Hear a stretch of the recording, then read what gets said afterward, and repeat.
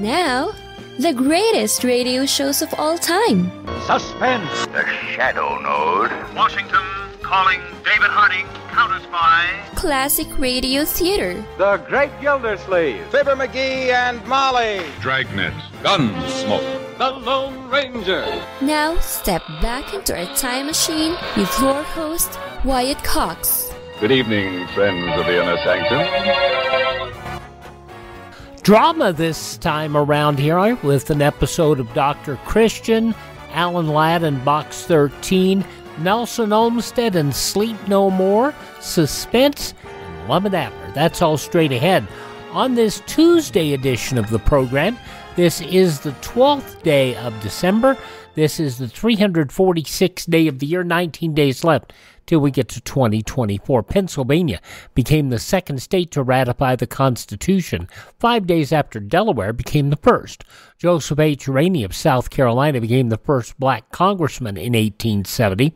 Marconi received the first transatlantic radio signal at Signal Hill in Newfoundland on this date in 1901. In 1917 in Nebraska, Father Flanagan founded Boys Town as a farm village for wayward boys. In 1941, Great Britain declared war on Bulgaria, Hungary and Romania declared war on the U.S., and India declared war on Japan. On this same date in 1941, Adolf Hitler announced extermination of the Jews at a meeting in the Reich Chancellery. 1946, a fire at a New York City ice plant spread to a nearby tenement. 37 people were killed. In 2000, the divided Supreme Court halted the presidential recount in Florida, effectively making George W. Bush the winner of the 2000 presidential election.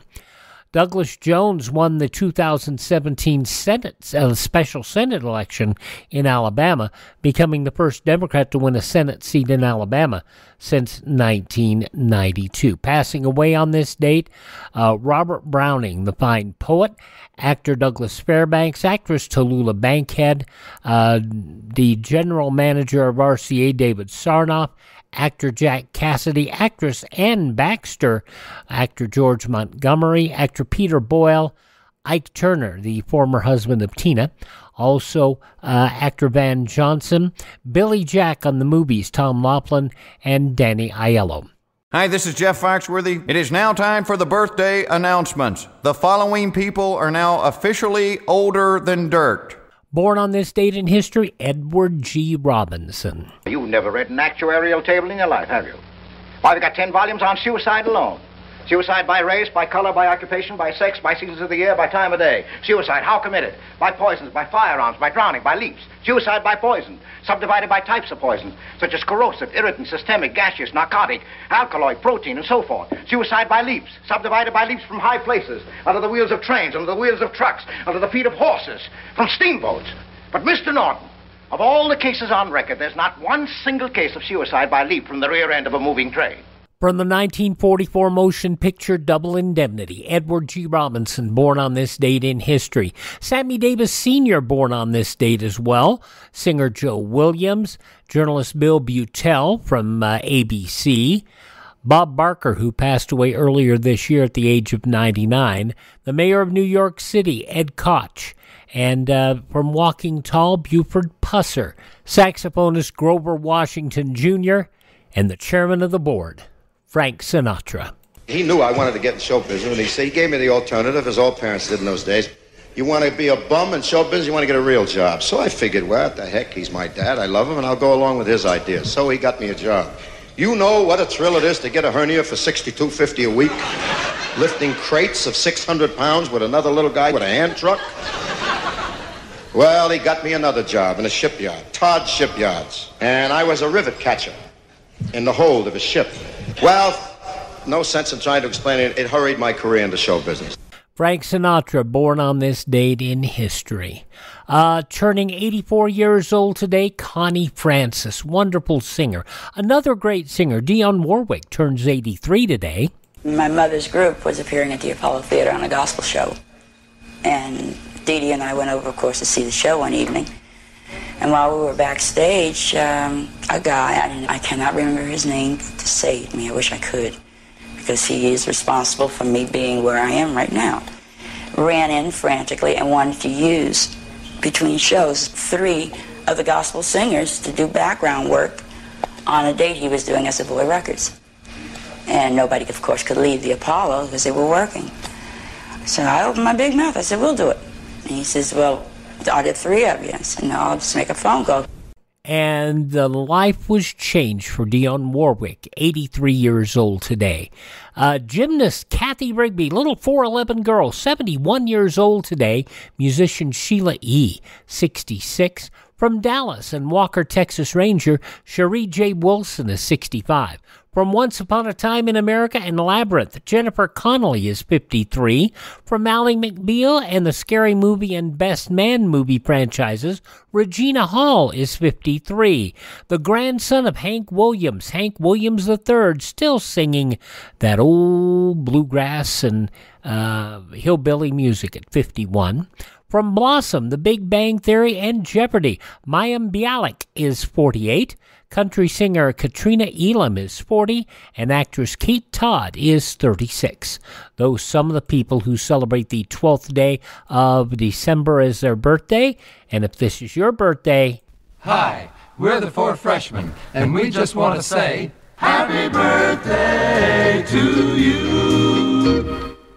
We start out this hour going back 86 years to December 12th, 1937. Jean Hersholt as Dr. Christian. That's up next on this Tuesday Classic Radio Theater with Wyatt Cox. Every child deserves an education, yet nearly 130 million girls are excluded from the classroom worldwide. Even when girls are in school, many don't receive a quality education. This isn't just a social issue, it's economic. The World Bank estimates gender inequality costs the global economy $160 trillion. Help CARE ensure everyone can go back to school at care.org slash back to school. Now on Classic Radio Theater with Wyatt Cox, we go back 86 years, December 12, 1937. Jean Hersholt as Dr. Christian.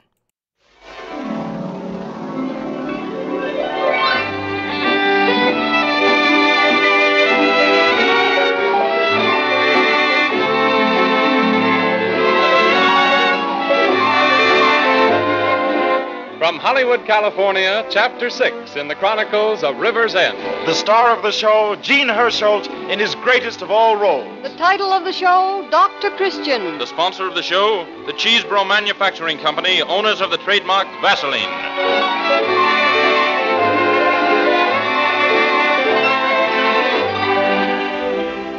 These programs, starring Jean Hersholt, famous screen actor in the role of Paul Christian, the Doctor of River's End, come to you each Sunday afternoon at this hour with the good wishes of the makers of Vaseline preparations. Each product bearing the trademark Vaseline is the best of its kind that can be marketed. All the Vaseline products are manufactured with the same degree of scrupulous care, are sterilized in the process of manufacture, and are packed in sterilized containers.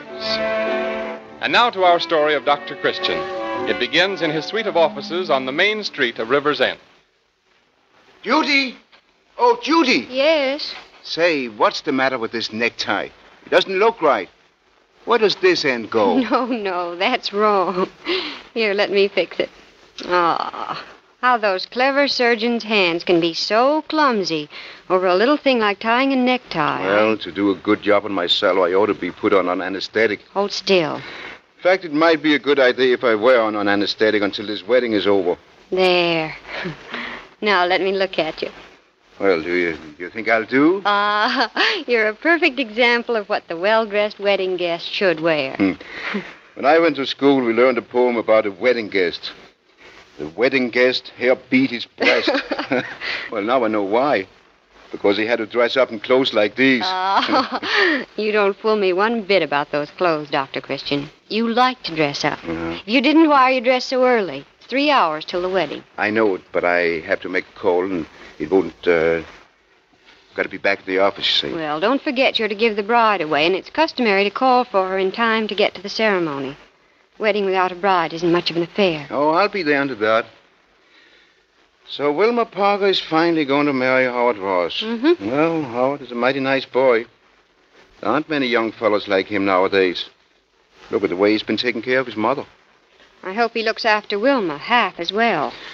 I remember last spring when Howard turned down a fine opportunity in the city just because he didn't want to leave his mother alone. Oh, she could have gone with him, couldn't she? There's only the two of them. Well, you know how that is. Mrs. Ross has lived here all her life. All her friends are here.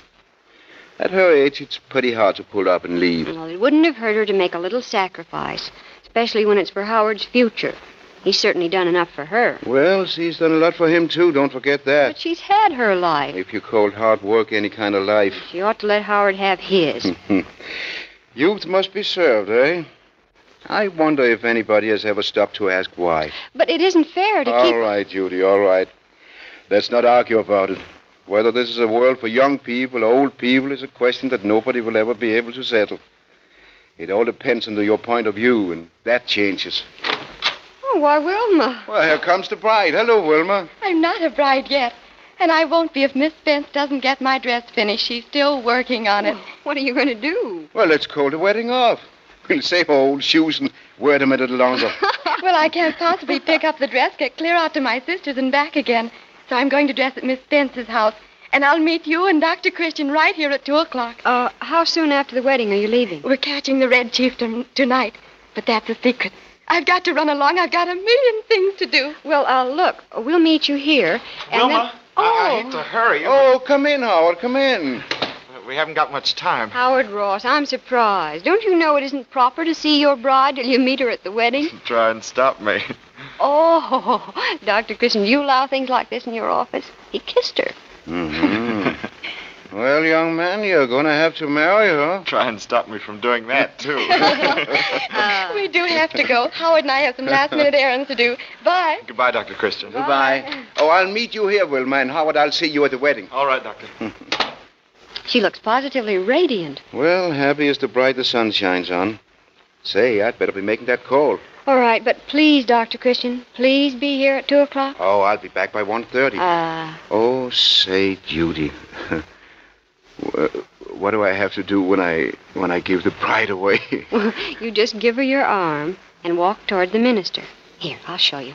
No, no, stand on the other side of me. oh, on, on this side? Yes. hmm Now. Da da da da da da da da da da da da da da da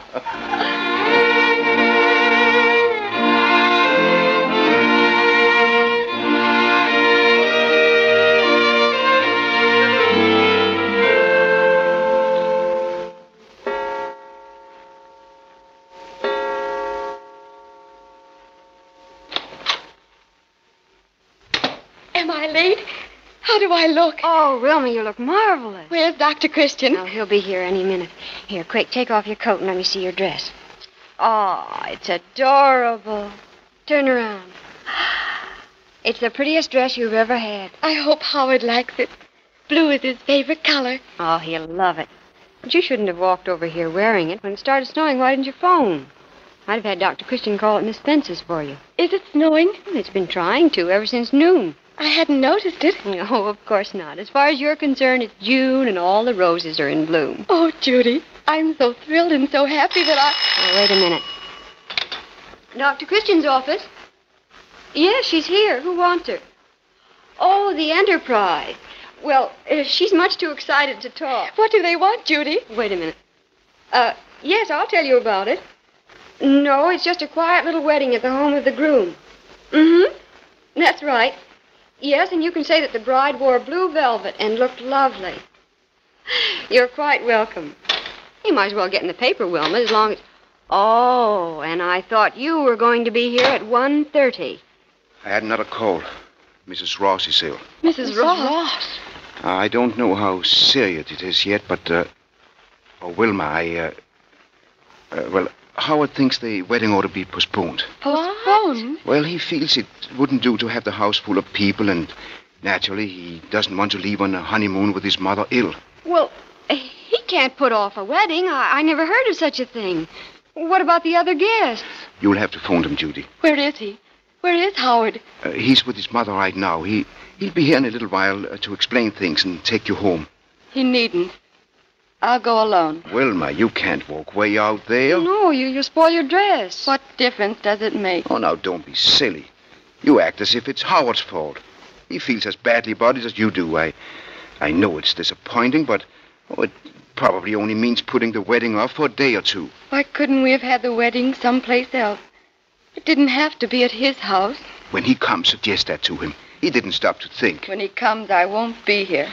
Goodbye, Judy. Oh, no, how, hold on. No, It's, it's snowing. If, if you won't wait for Howard, I'll drive you home. Oh, but at least you ought to give him a chance to explain. He doesn't have to explain. I know all about it. I've known about it for three years. It isn't Howard, it's his mother. She doesn't want Howard to marry me. And there's nothing the matter with her. It's just a trick to keep him from me. Oh, Wilma. Oh, Mrs. Ross wouldn't do a thing like that. Oh, wouldn't she?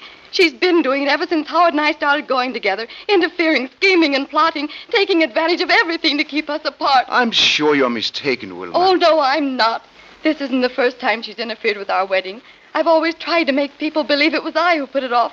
I didn't want to be humiliated. Now she's not even sparing me, me this.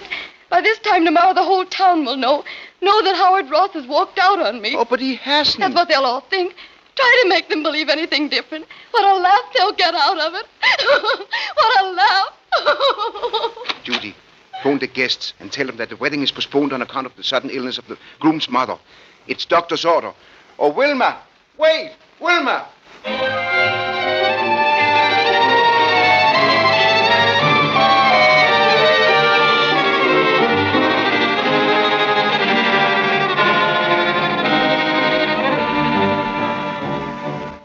In bringing you these human dramas woven around the life of River's End and its beloved Dr. Paul Christian, the makers of Vaseline preparations hope that they will help you to find release from your own problems so that Sunday truly becomes a day of rest and relaxation for every listener.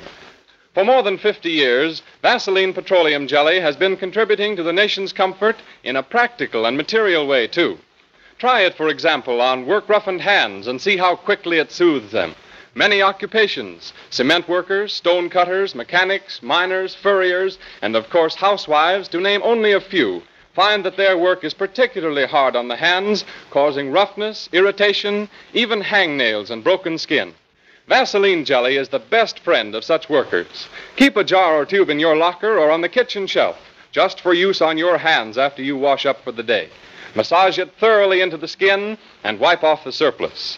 If you do this regularly every day, it will put an end to roughness, redness, and chapped skin. It's an inexpensive remedy, too. Only 10 cents a jar anywhere in the United States.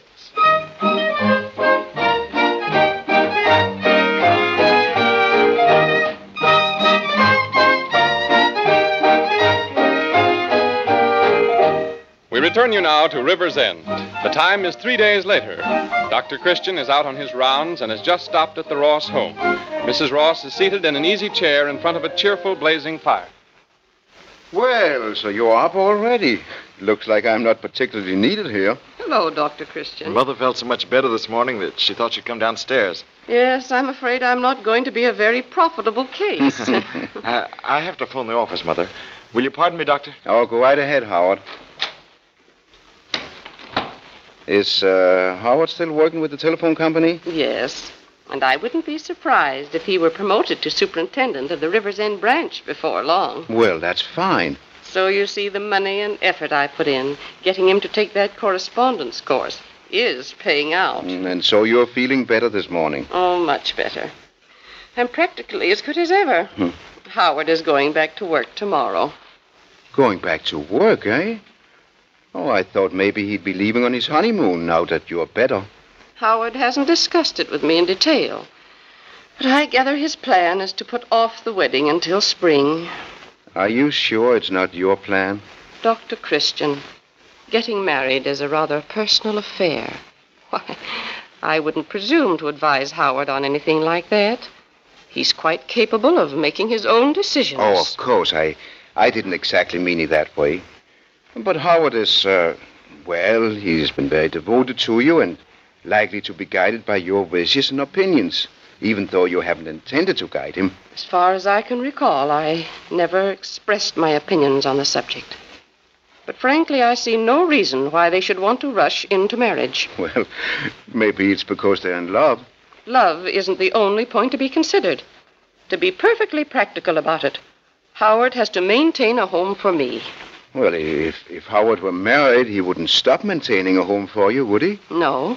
So a wife would be an added burden to him. but people do manage. I don't want Howard to marry till he reaches a place where he won't have to manage. Isn't that common sense?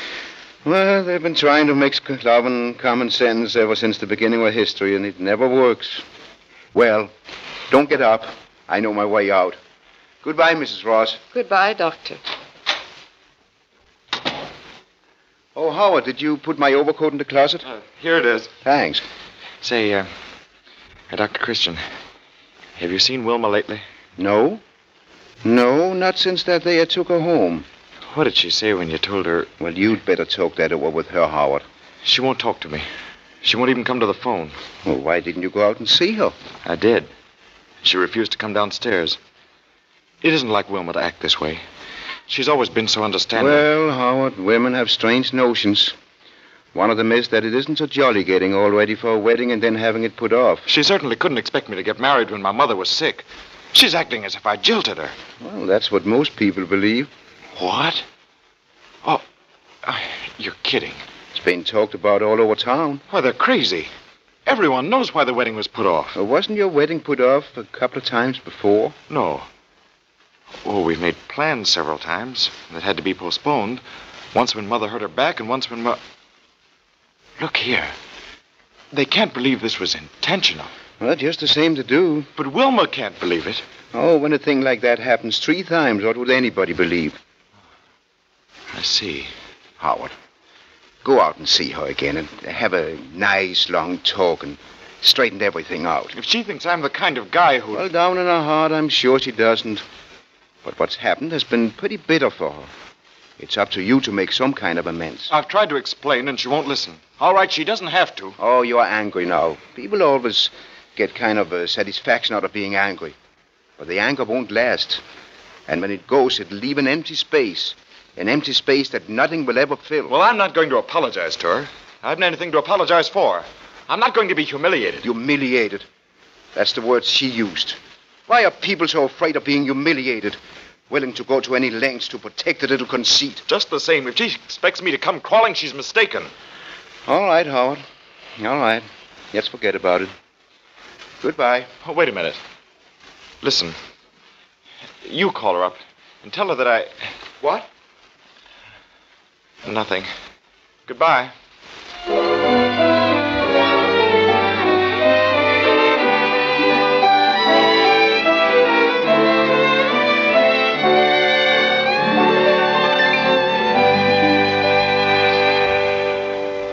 Stubborn, unruly hair, like stubborn people, often will respond to coaxing.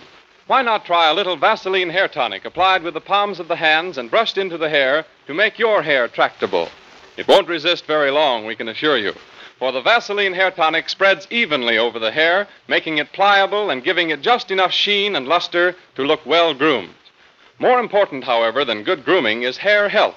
Dryness of the scalp, scaliness or dandruff, and falling hair are indications that the scalp is not functioning as it should. You can stimulate the scalp to normal functioning by this simple scalp care. Each time that you shampoo the hair, give the scalp a good workout with Vaseline Hair Tonic first. Massage the scalp till it tingles with the increased flow of blood to the hair roots. And after a few moments of this treatment, shampoo the hair with any mild soap. You will find when the hair is dry again that it actually looks and feels cleaner and softer. Vaseline Hair Tonic comes in two sizes, priced at 40 and 70 cents. The 40 cent size will give you six to 10 scalp workouts, as well as keeping the hair groomed in between times. Surely this is a very small investment for you to make for hair and scalp health.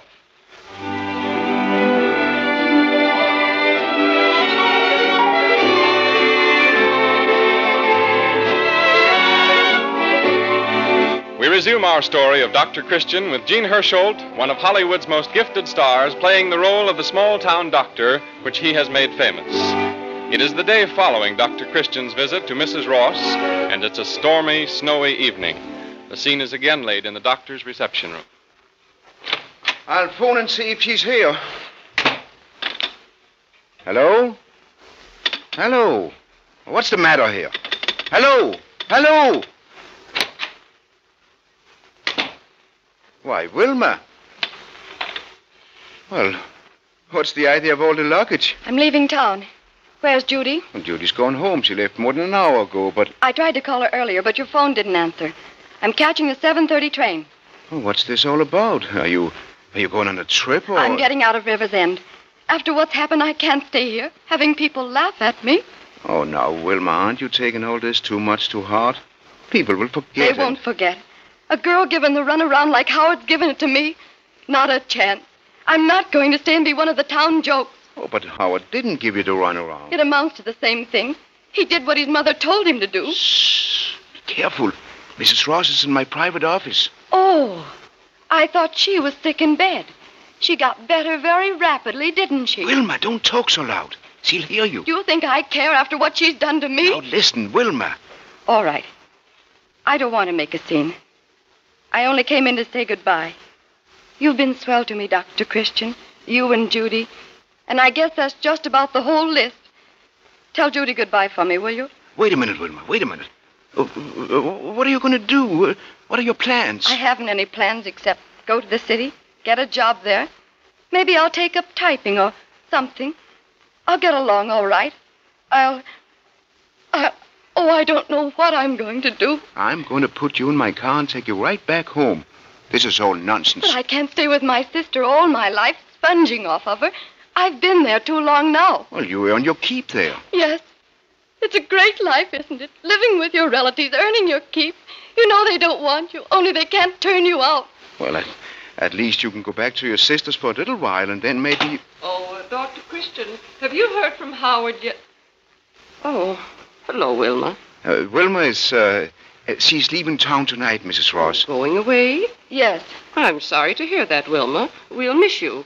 Uh, But I suppose you'll be back soon. No, you needn't worry. I won't be back. You've attended to that very thoroughly. You hate me, don't you? Not as much as you must hate yourself. Don't. Oh, uh, don't pay any attention, Mrs. Ross. She's she's a little excited. She's. I understand. Only when one person hates another, there must be a reason. I'm curious to know what it is. You can stand there and ask me that after what you've done to my life and your own son's life, just because you're selfish, just because you don't want me to have Howard. Yes, Wilma, I am selfish. I don't want you to have Howard. Because, but, but not especially you. You see, Wilma, no mother wants any woman to take her son away from her. But I have some claim on him. Claim? He told me he loved me, and I believed him. I've waited for him for three years, gave him three years of my life. You've given him three years of your life. I've given him 25. Really given them to him. You don't know what it is to face the world with no assistance, no money, and a boy five years old. And know you have to bring him up properly, provide the things he has to have, raise him to be a man, a good man. You talk about having a claim on him. All right, leave my feelings out of this. But what about him? What have you done to him? Wilma, Wilma, it, it, it isn't good to let yourself go this way. You're only hurting yourself. Oh, let her talk. I haven't anything more to say except this. Howard loves me. You've stopped him from marrying me. He'll never forgive you for that. You can have him, but you'll have him knowing down in your heart he hates you. Dr. Christian! Dr. Christian! Why, Ryan, what is it? An accident. Some of the phone lines are down on account of the storm. And and I was working on a pole with young Ross. He, she slipped and fell and. Howard! Howard, hurt! Oh, Oh, Mrs. Ross, I- I'm afraid he is pretty bad. I tried to carry him here, but, well, he, he's kind of hefty, and I, I couldn't make no headway through the snow. I had to leave him. Oh, Where is he? Down by the river. Better make it fast, Doc. It's snowing hard, and it'll cover him up. We oh. won't be able to find him. Wait till I get my coat. And we'll have to walk. You'll never get through in a car. oh, hurry, Doctor, hurry. All right, I'm ready. Come on, Ryan.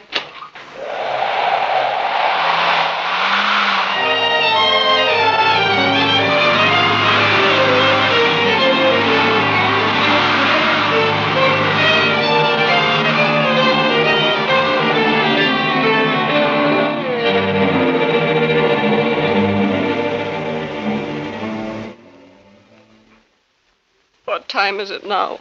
A little after two. Seven hours. They've been gone seven hours, and still no word. They haven't found him. They must have found him by this time. They must. They might have taken him home. Taken him home instead of bringing him here. That's it. He's at home. Phone the house. Telephone. Hello? Hello? I forgot. The phone's dead. Oh, let me try. Let me try.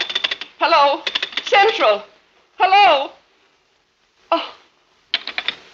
It's no use. If they were at the house, Dr. Christian would have sent word to us. I'm not going to give up. Oh, Howard's too young to die. There's no reason why he should die. Life couldn't be that cruel. You don't know how cruel life can be. Or is it life? Isn't it just ourselves? Listen, there's someone coming. I'm sure I heard voices. Who? Oh, who is it? I can't see. The window's covered with frost. Oh, look out the door.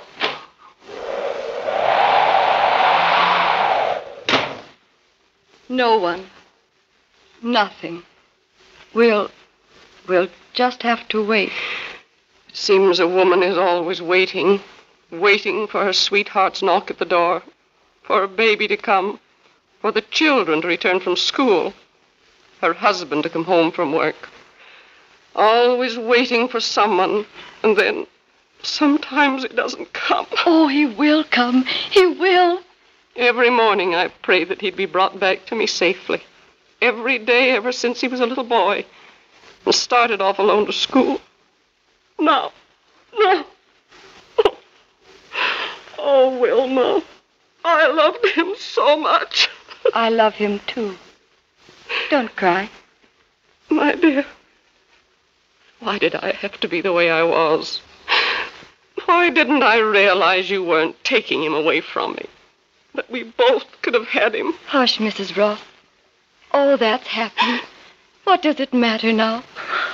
What does it matter who was right or who was wrong? Dr. Christian. I I tried to call you, but the, the phone is it isn't working. Where is he? Where is we he? We took him to Spot Powell's, the nearest house. You'd better come. He's he's been asking for you. Both of you.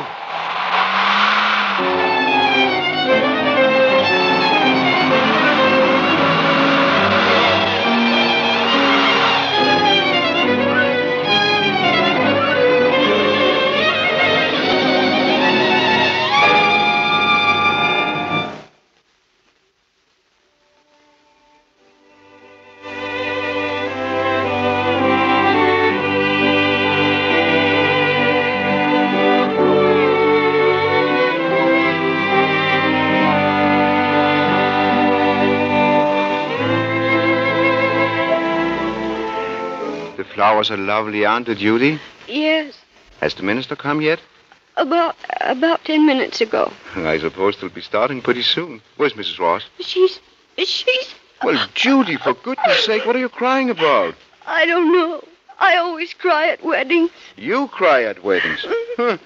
If you had to dress up and wear a high collar like the one I've got on, you'd have something to cry about. say, say, how do I look anyway? Oh, your your tie isn't so good. Hold still, I'll fix it. Little things are important. Don't I know it? If it hadn't been for a little thing like a telephone being out of order, there probably wouldn't be a wedding. Why? How do you mean? Because it gave me a chance to leave Mrs. Ross and Wilma alone for seven hours to talk things over. Oh, And if you leave anybody alone long enough to talk things over, they'll get 'em straightened out. Judy. Oh, here's Wilma. Oh, Wilma, isn't it thrilling? But how will Howard be able to put the ring on your finger when his arm's in a sling? It's his left arm, silly. Say, Doctor, come on. They're waiting for you. All right, all right. We're ready. Oh, say, Judy, Judy, uh, uh, what do I have to do? Just give Wilma your arm. No, no, stand on the other side of her. Oh, on, on, on this side? Yes. Now you walk toward the minister. Oh, wait a minute. What? I think this is where I came in.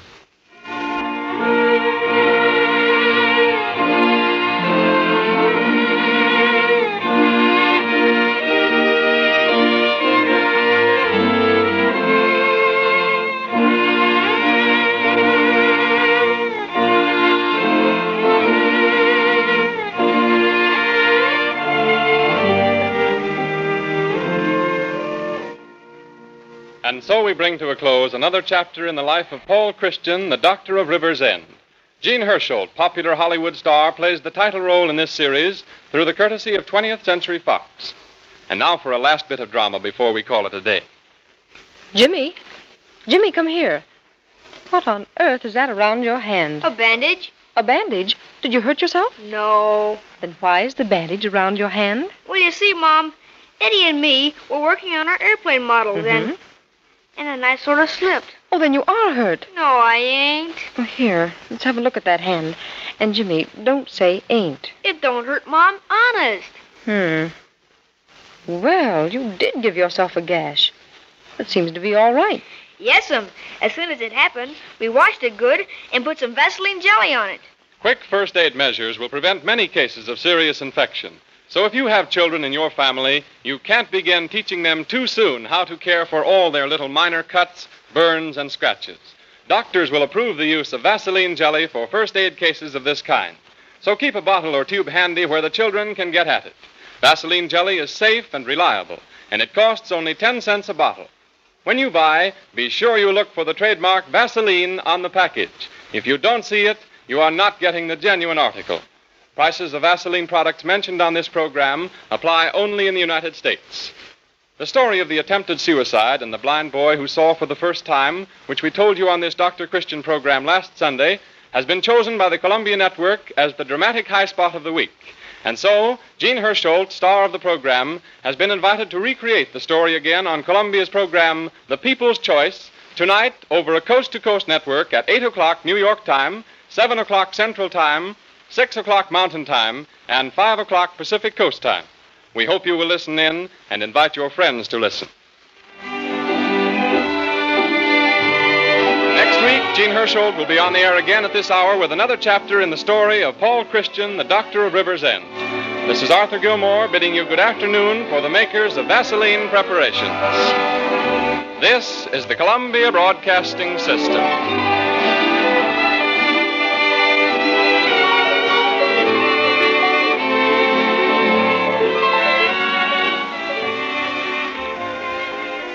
86 years ago, December 12, 1937, Dr. Christian. Coming up next on Classic Radio Theater with Wyatt Cox, we go back to 1948 for an episode of Box 13 with Alan Ladd. Dear Santa,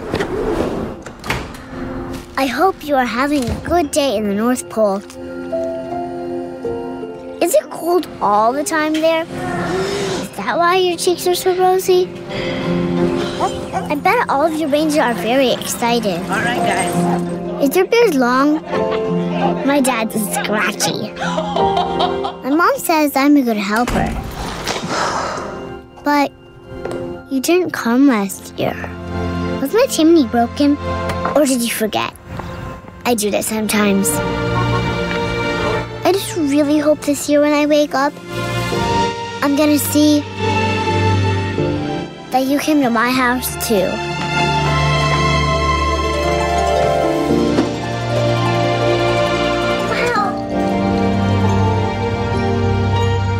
Donate to Toys for Tots and help the Marines deliver hope to a child in need. And now on Classic Radio Theater with Wyatt Cox, Alan Ladd stars in, in Box 13 as uh, an episode from December 12, 1948, 75 years ago, The Haunted Artist.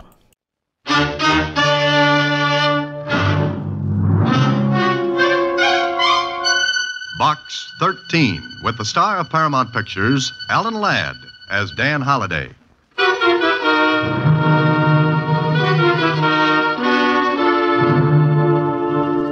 Box 13, care of Star Times. I don't know whether going after a ghost is your idea of an adventure, but I think I may have one for you. I don't believe in ghosts either. At least I don't think I do. However, if you're interested, my name is Michael Davis. I'm an artist, and my studio is at 183 Lincoln Mews. I'm there almost all day.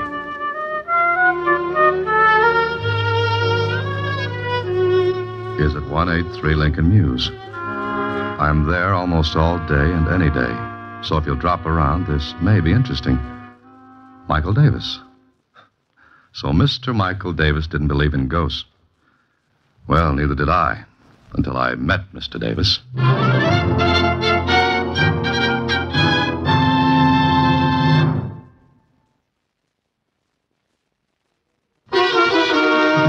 Now back to Box 13 and Dan Holliday's newest adventure, The Haunted Artist. Ghosts? Gee, Mr. Holliday, are there such things? Ever see a bank account after March the 15th? Huh? Skip it, Susie. Michael Davis. He says he's an artist. Do you know anything about art, Susie? Well, I- I've been to the museum where they have that statue of the Venus B. DeMille. That's Venus de Milo. The one without arms? Uh huh. Oh. Well, art is long and time is fleeting, and the same goes for Dan Holliday. And it looks like a trip to Mr. Michael Davis is in order.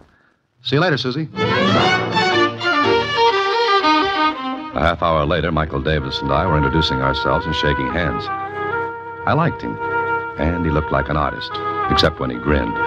Then he looked and seemed a lot younger than his, oh, 33 or 4. And he grinned as he said, So you advertise for adventure just to get plots for your stories, huh? Yes, that's a general idea. Maybe I'll be able to use yours. Well, this sounds insane, but I think this studio is haunted. Or I am. Why? Do you hear the patter of cold little feet and the clank of chains at night? I wish I did instead of. Oh, come and look. You see that easel in the corner? Mm-hmm. There's a painting on it. I've got it covered now, but. But what? Well, look. Take a good long look. I did. What I saw was one of those surrealist things. It was a desert with queer figures raising their arms to a brassy sky and a vicious looking sun. Well, somehow it gave me the shivers. I was staring at it when. Well, Holliday, what do you think of it? what am I supposed to think of it? Meaning you don't like it? Well, I, I don't know. I hadn't intended you to criticize it. Just look at it and see if you notice anything wrong. Go ahead, I'll keep quiet. I looked again, and something did strike me as being a little odd. I moved in for a closer look, stood there for a moment. Uh huh. You've got it, Holliday. That stone quarry painted in the right hand portion of the canvas. Yes, it doesn't belong. I mean, I mean, it's out of place. I didn't paint it. Maybe we'd better go over the signals again, Davis. I, uh, I lost the ball on that play. I don't blame you. But it's the truth. I did not paint that quarry in there. Look at it. The technique is different. Yes, the brushwork's not like the rest. Exactly. And that painting has to be done in three days. I've been working on it for seven months, and it has to be finished. Why? What's the rush? Well, I've been invited to hang a canvas in the Bernier galleries. Oh, which means you've arrived. Berner's being to art what the big leagues is to baseball. Exactly. You see, Holliday, I started the painting seven months ago. Everything was fine for a time. Then this started.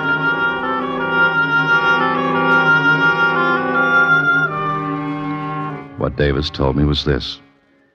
He'd finish work in the evening, cover the painting, and turn in. Then, in the morning, when he'd take the cover off the canvas, the quarry would be painted in. It happened six times.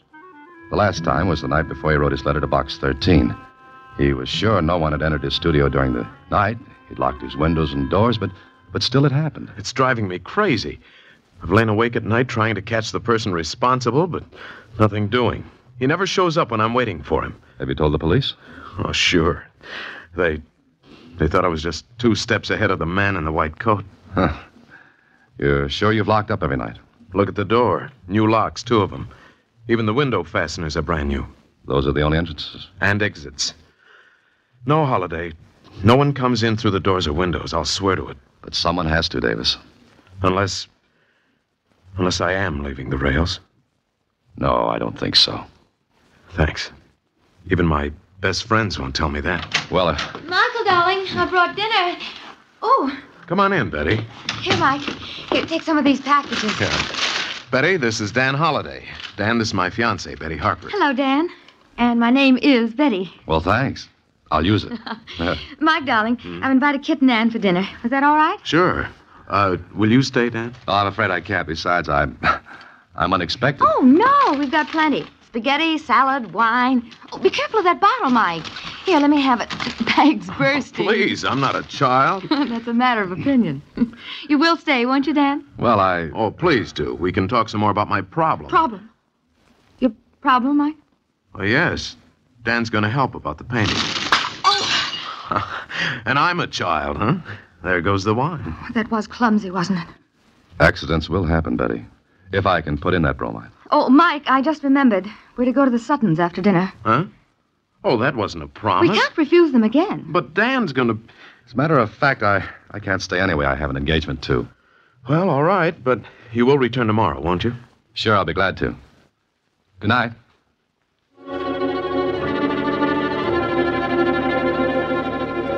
Well, well, I like this. It looked good. Especially when Mike's own girlfriend was anxious to deal me out. That Betty didn't want me on the team. It was easy to see as the brass button in a collection plate.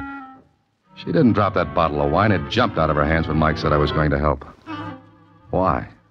Well, I'll have to find that out. I got to my apartment after dinner and sat down to think about it when. Hello? Is this Dan Holliday? Yes, it is. Who's this? Well, never mind. Just a moment. Hello?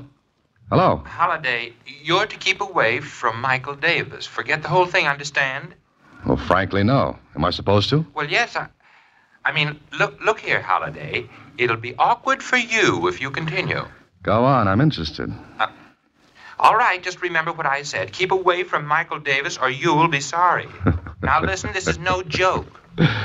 But I'm laughing. I warn you. Good night. Brother, whoever you were, that was the worst imitation of a squeeze play I ever heard.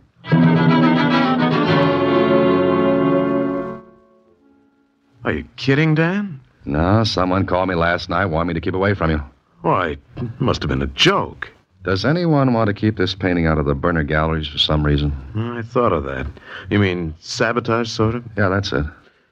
Well, who? Hmm, No one I know of. You're sure, Mike? Of course.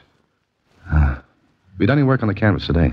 Yes, I scraped off the stone quarry and started my own work again. Ah, then I've got an idea. What time is it? Uh, four o'clock. Why?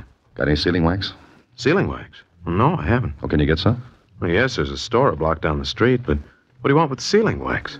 Well, for one thing, we're going to prove there's no ghost. Or, uh, Or what? or that there is one. Now, run down and get the wax. All right, you're the boss. Make yourself at home. I'll be back in a few minutes. I worked fast to get the thing done before Mike came back. I took every tube of paint, every brush, every palette I could see, and wiped them clean. Then I put them back where they'd been. And just in time, Mike came back, handing me the sealing wax. Oh, will this be enough, Dan? Oh, yes, I think so. Okay. Now we'll lock all the windows. And be sure they're locked. What are you up to? You see, we can find out if someone gets in here while you're asleep. We'll seal the locks and bolts with this wax, and Yes, but wax can be broken. uh, if it is, we'll know someone came in the windows of the door. Yeah, but the person could reseal the locks. Sealing wax melts easily enough. Sure, but he couldn't put the imprint of my signet ring back in the wax without getting the ring from me first. And I'm very fond of this ring. Never take it off my finger. Okay, Mike, let's go to work on the windows.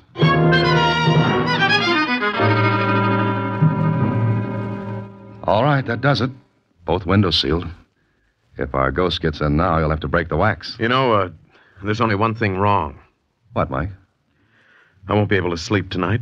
Oh, it'll take something. You've got to sleep because your visitor won't break in unless you do. Dan, suppose those seals aren't broken in the morning, but the painting's been changed anyway. What then? Uh, we both apply for an outside cell. Now, don't do anything more on your painting, and don't touch a thing. Hmm? Why not? You want me to help you, don't you? Certainly. Then ask no questions and do as I say. And tomorrow morning we may have an answer. It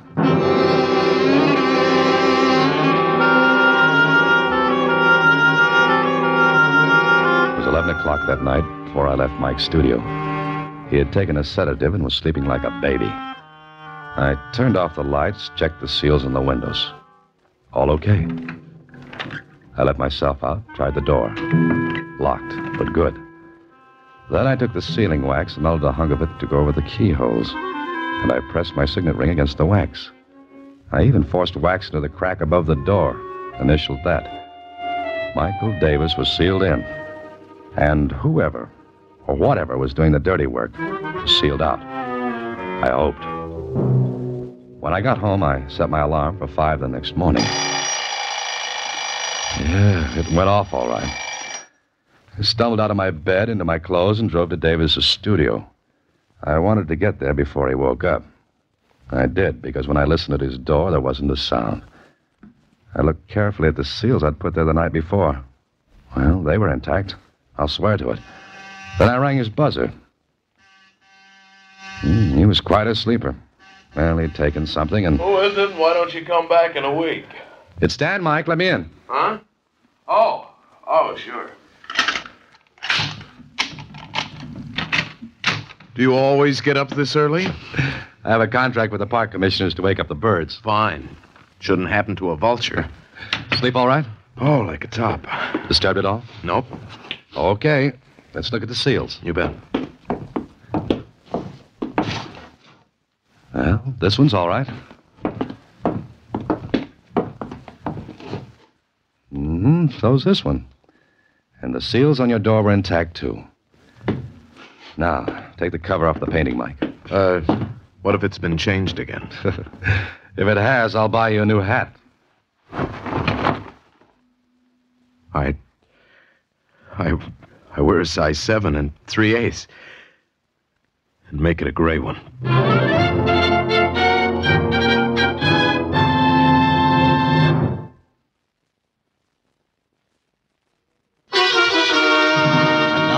To The Haunted Artist, another Box 13 adventure with Alan Ladd as Dan Holliday. Well, the painting was changed. Davis swore he hadn't done it, and I believed him. But if he hadn't. Okay, there had to be an answer. I took all the tubes of paint, brushes, and palettes with me when I left Davis. Also, the painting itself. I wouldn't tell him why. Lieutenant Kling at police headquarters was more curious. What are you doing? Taking a home course in detective work? Yes, I'm on my fourth lesson. It's entitled How to Be a Nosy Cop. What's the gag, Holliday? Look, there's no gag. I just left a guy who's biting his nails so badly he was working on his elbow a few minutes ago. Kling, run fingerprint tests on those tubes and brushes and pallets. Then compare them with the prints on this glass, will you? Whose glass is it? Belongs to an artist friend of mine. I swiped it when he wasn't looking. What have you got in that big package? A body. Whose? All right, it's a painting.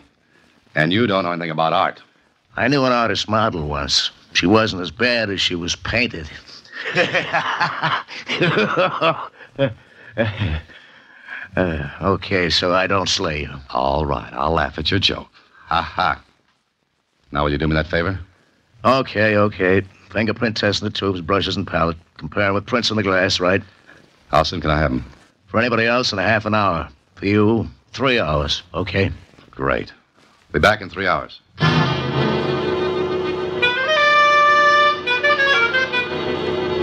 After leaving Kling, I went to the Star Times and learned the name of an art expert. An hour later, I showed him Mike's painting. Hmm, that is quite good. Yours? No, it's a friend of mine's. Hmm. Uh, good brushwork. Excellent composition. Wonderful color. And with this, this has no place in the picture. Look, uh, I've got a lot of things to do. What I want you to do is look at the painting and tell me whatever you can about it. I'll pay you, of course. Oh, very well. But uh, it will take uh, maybe two hours to do a good job. Uh, you understand? Oh, yeah, sure, sure, sure. I'll be back in two hours. Well, it was a merry-go-round. From Kling to the art expert, from him back to Kling. A little less than three hours, Dan. Haven't you finished? sure. There's your stuff, and here's the report. What's the matter with you? Kling, there's no mistake about this report, is there? Mistake? Look, Dan, our boy knows his business. Bet on it. Anything you like. Weren't weren't there any other prints at all? None. The prints on the paint tubes and the rest of that stuff were the same as on the glass. All from the same person. But it can't be. I've got news for you. It is.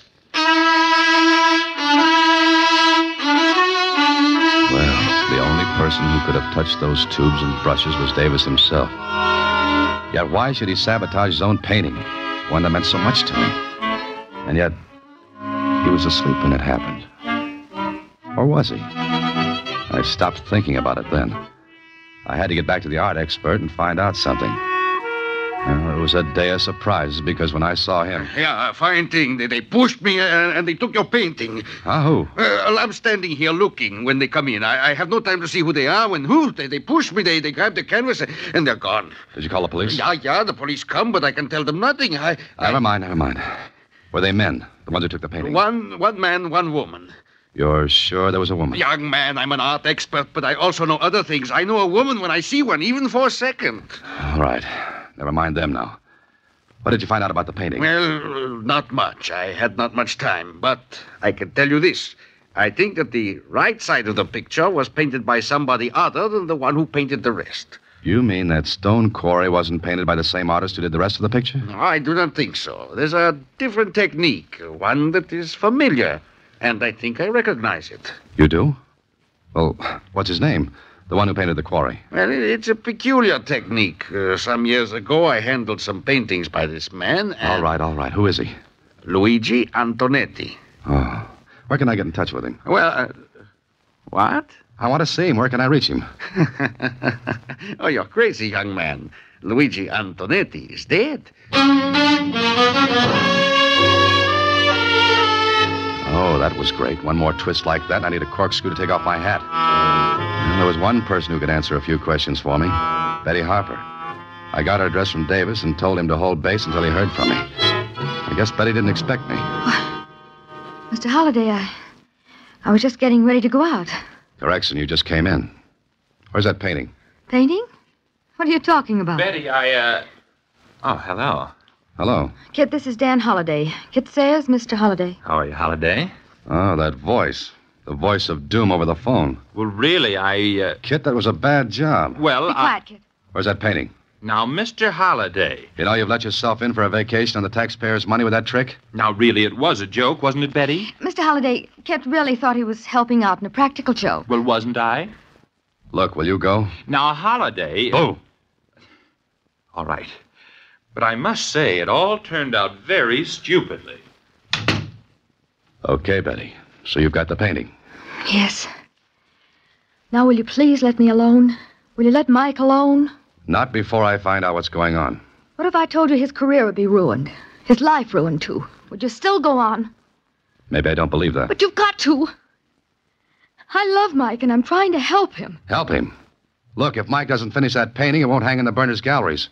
What becomes of his career then? You're robbing him of his chance, not helping him. Then I'll rob him of it. I'd rather do that than. Then what? I've said enough. Oh, please, please, you've got to believe me, Dan. All I want is for Mike to, to be happy. And all I want to know is what's going on. And what does Luigi Antonetti have to do with all this? How did you find that out? It doesn't matter. Is Luigi Antonetti still alive? He's dead. And how can he paint that quarry on Mike's canvas? Get out of here. You get out. All right.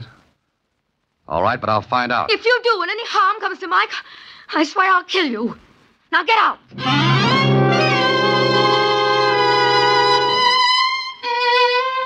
That was all from Betty. I would have bet my last penny she was doing what she was doing for Mike. But why?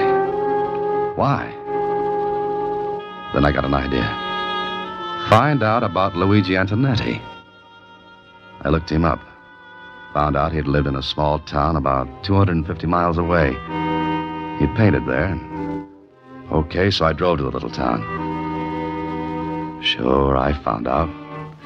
He was dead, all right. I was even shown his grave, and when I looked at it, I, I wanted to reach back and chip the icicles off my spine. How could a dead man paint?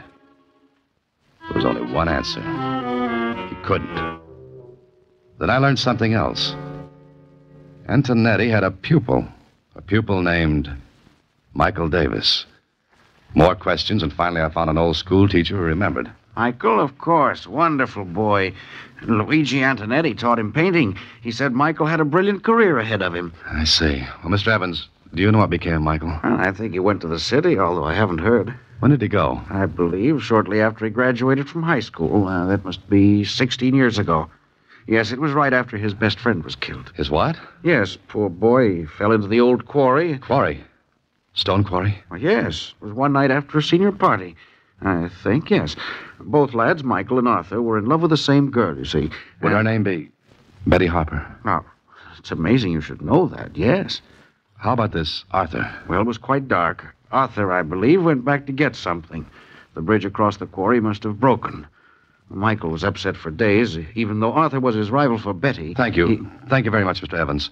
You'll excuse me, but I, I've got to hurry.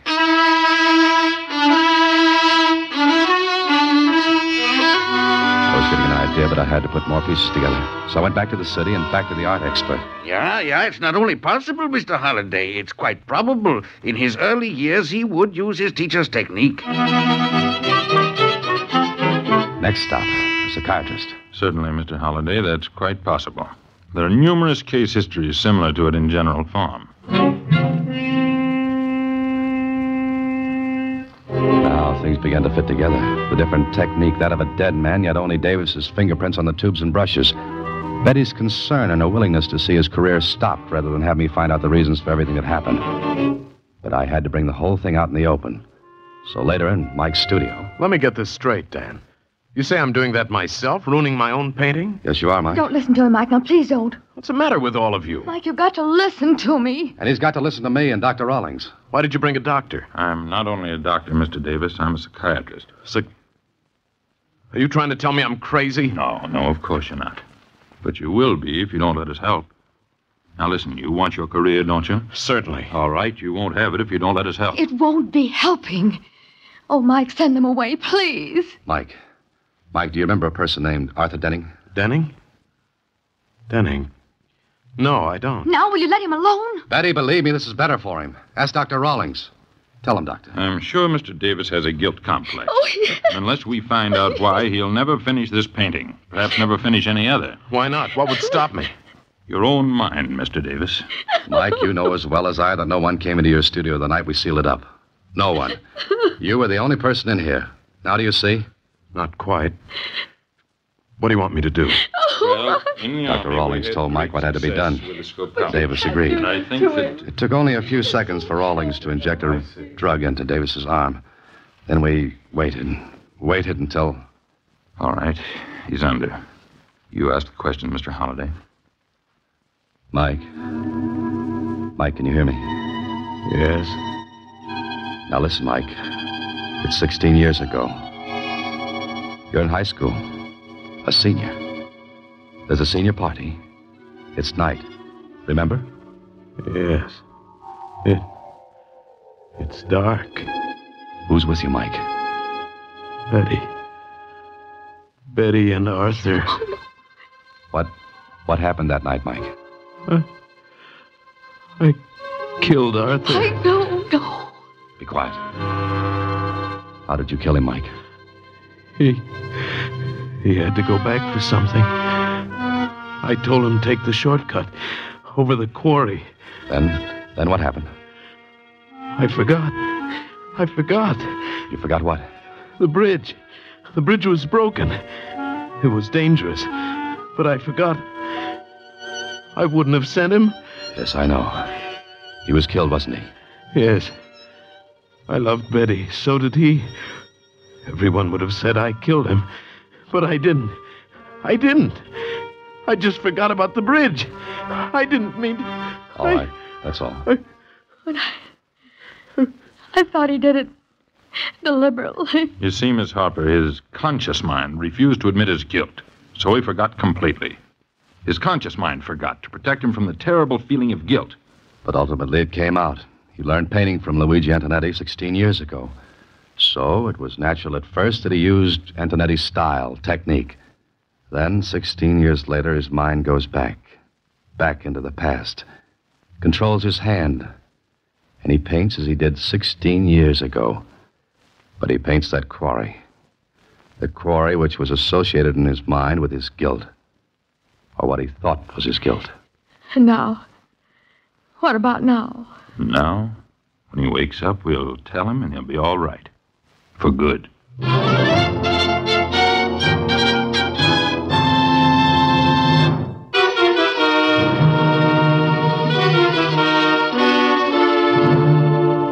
out of the Berner Gallery show have come several new painters of distinction. Not the least of them is Michael Davis, whose intensity of feeling and whose brilliant That's good enough, Susie. Well, looks like he's all right, doesn't it? Gee, isn't the human mind wonderful? Well, that depends on which way you look at it. Uh huh. I was psychoanalyzed once. Oh? And what did you find out? We've got a lot of mail to open, Mr. Holliday. Oh. Good night, Susie. Next week, same time, Alan Ladd stars as Dan Holliday in Box 13.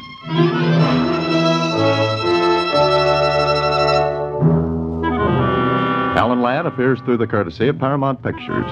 Watch for him in his latest picture, Saigon. Box 13 is directed by Richard Sanville with an original story by Russell Hughes and original music composed and conducted by Rudy Schrager. The part of Susie is played by Sylvia Picker, that of Lieutenant Kling by Edmund McDonald. Production is supervised by Vern Carstensen. This is a Mayfair production from Hollywood.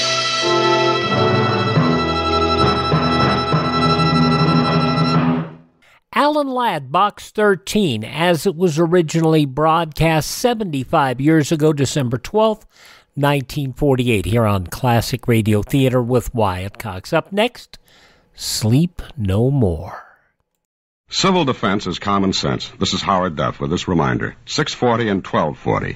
These are the Conelrad frequencies during a national emergency. 640 and 1240 on your regular radio will be your only official means of receiving vital information. Remember, 640 and 1240. For our midweek edition of Classic Radio Theater with Wyatt Cox, comedies with a Christmas bent by and large, uh, Archie Andrews and crew from 1947 go Christmas shopping, Father Knows Best from 1951, and A Christmas Party, a 1948 edition of My Friend Irma, Joe Penner, You Want to Buy a Duck? From 1936, and Fibber McGee and Molly. That's all coming up on our Classic Radio Theater podcast tomorrow. Friday the 13th comes on a Wednesday this month, so consider yourself safe. That's all coming up. Now, uh, let us head back to a, uh, a rather different program than we're used to hearing. Nelson Olmsted, a program called Sleep No More. This show dealt primarily with dramatic readings rather than full dramatizations. Let's listen to this program from the National Broadcasting Company from 1956, 67 years ago. In just a moment, Sleep No More, but first.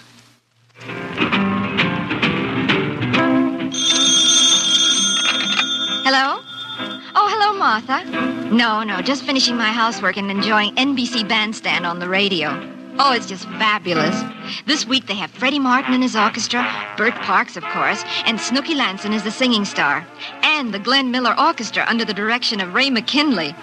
But why am I telling you about it? Tune it in yourself. NBC Bandstand, live weekday mornings on NBC Radio. And now stay tuned for Sleep No More on NBC. This is Nelson Olmsted. Sleep no more.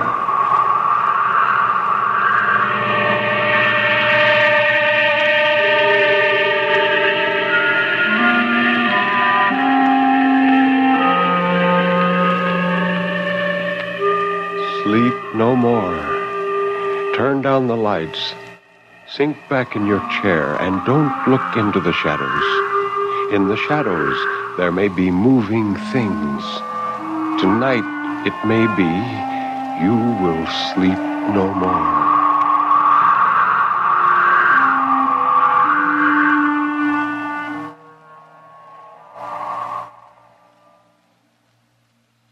Good evening. This is Ben Grauer introducing tonight's Tale of Terror, told by Nelson Olmsted on the National Broadcasting Company's presentation of Sleep No More. The story of terror can be as simple as a sheeted ghost rattling chains. It can be a complex and hidden world of horror, lurking in such unholy dimensions as only the dead and the moonstruck can glimpse. Or it can be those terrible, fathomless shadows which lie buried deep in the primitive mind of civilized man. And for this evening, well, Nelson Olmsted, tell us about this evening's story. Ben, it's called three o'clock. and it's a masterly chiller by William Irish.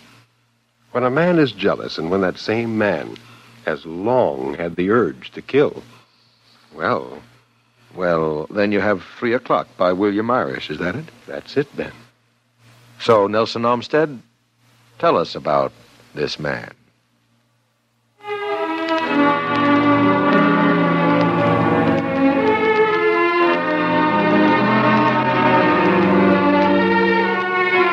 She had signed her own death warrant. He kept telling himself over and over that he wasn't to blame. She'd brought it on herself.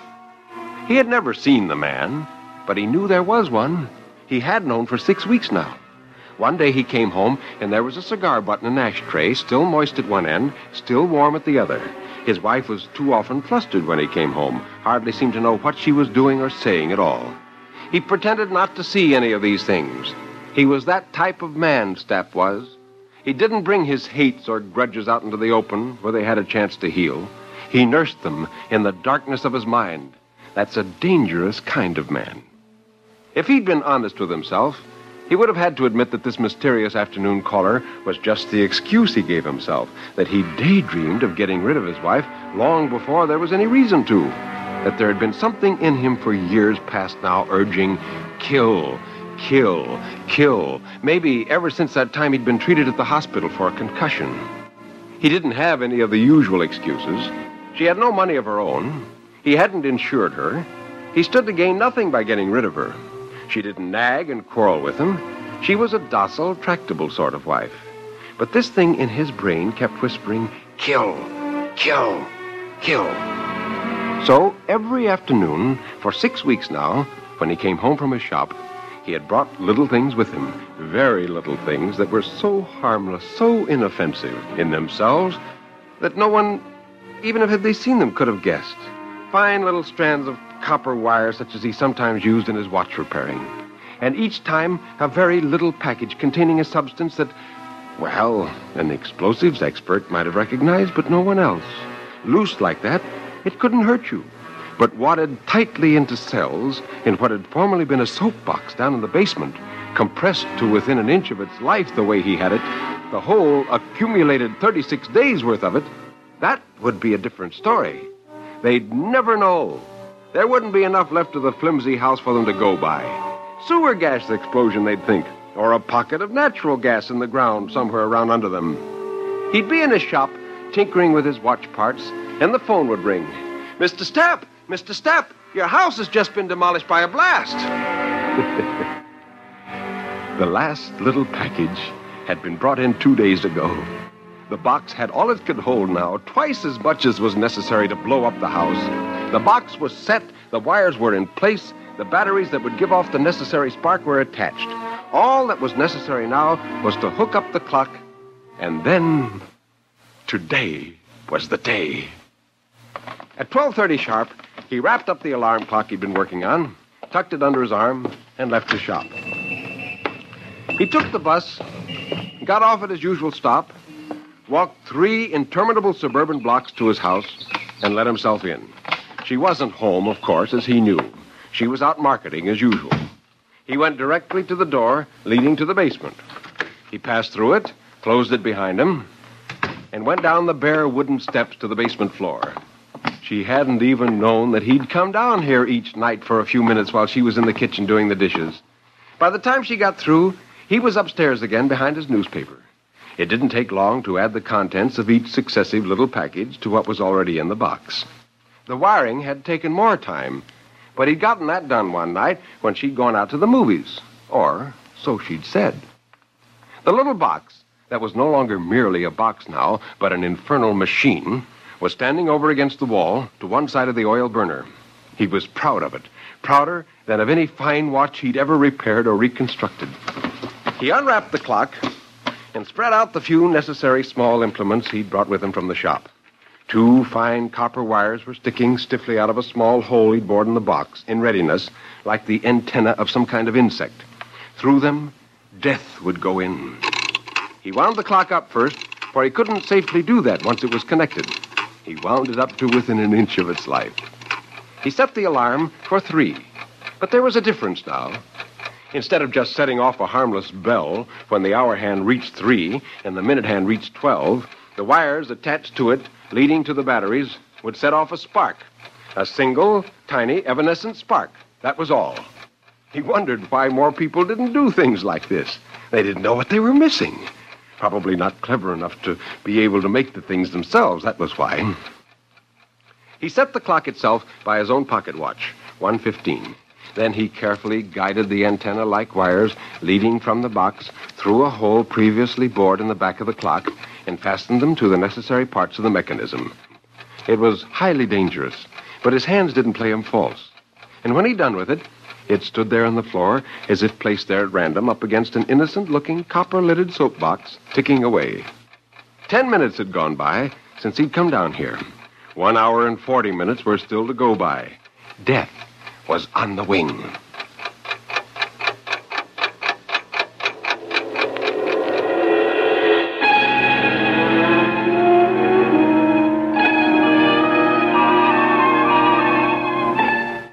He smiled a little and went on up the stairs, not furtively or fearfully, but like a man does in his own house, with an unhurried air of ownership, head up, shoulders back, tread firm. As he opened the basement door and stepped out into the ground floor hall, someone jumped on him, caught him brutally by the throat with one hand, flung him back against the wall, and pinned him there. And then the man struck out at him, hit him a stunning blow on the side of the head with his free hand. Stapp's senses dulled into a whirling flux for a minute. And before they had cleared, a second man had leaped down from up the stairs from one of the rooms above, and he said, Hurry up! Get something to tie him up with, and let's get out of here! Oh, good Lord, don't tie. Stapp tried to say, clawing at his own throat to free it. He wasn't fighting the man off. He was only trying to tear that throttling impediment off long enough to get out what he had to tell him. But his assailant couldn't tell the difference. He struck him savagely a second time and a third time, and Stapp went limp there against the wall without altogether losing consciousness. The second one had come back already with a rope that looked like Fran's clothesline. Stapp was dimly aware of this rope going around and around him, crisscross, in and out, legs and body and arms. Don't, he panted. And his mouth was suddenly nearly torn in two as a large handkerchief or rag was thrust in, effectively silencing all further sound. Then they whipped something around outside of that to keep it in and fastened it behind his head. And one of the men asked, Where'll we put him? Well, leave him where he is. No, I did my last stretch just in account of leaving the guy in the open. Let's shove him back down where he was. Well, this brought on a new spasm, almost epileptic in its violence. He squirmed and writhed and shook his head back and forth. They had picked him up between them now, head and feet, kicked the basement door open, and were carrying him down the steps to the bottom. They still couldn't be made to understand that he wasn't resisting, that he wouldn't call the police, that he wouldn't lift a finger to have them apprehended if they'd only let him out of here with them. They deposited him on the floor by the pipe in the corner and lashed him in a sitting position there with an added length of rope that had been coiled in the basement. As the men left, one of them turned back and said, now take it easy, Bud. Relax. I used to be a sailor. You never get out of them knots. Stapp swiveled his skull desperately, threw his eyes at the clock one last time, and then, with the horrible slowness of a nightmare, the man turned and went out through the doorway. The basement door ebbed back into its socket with a minor click that to him was like the crack of doom.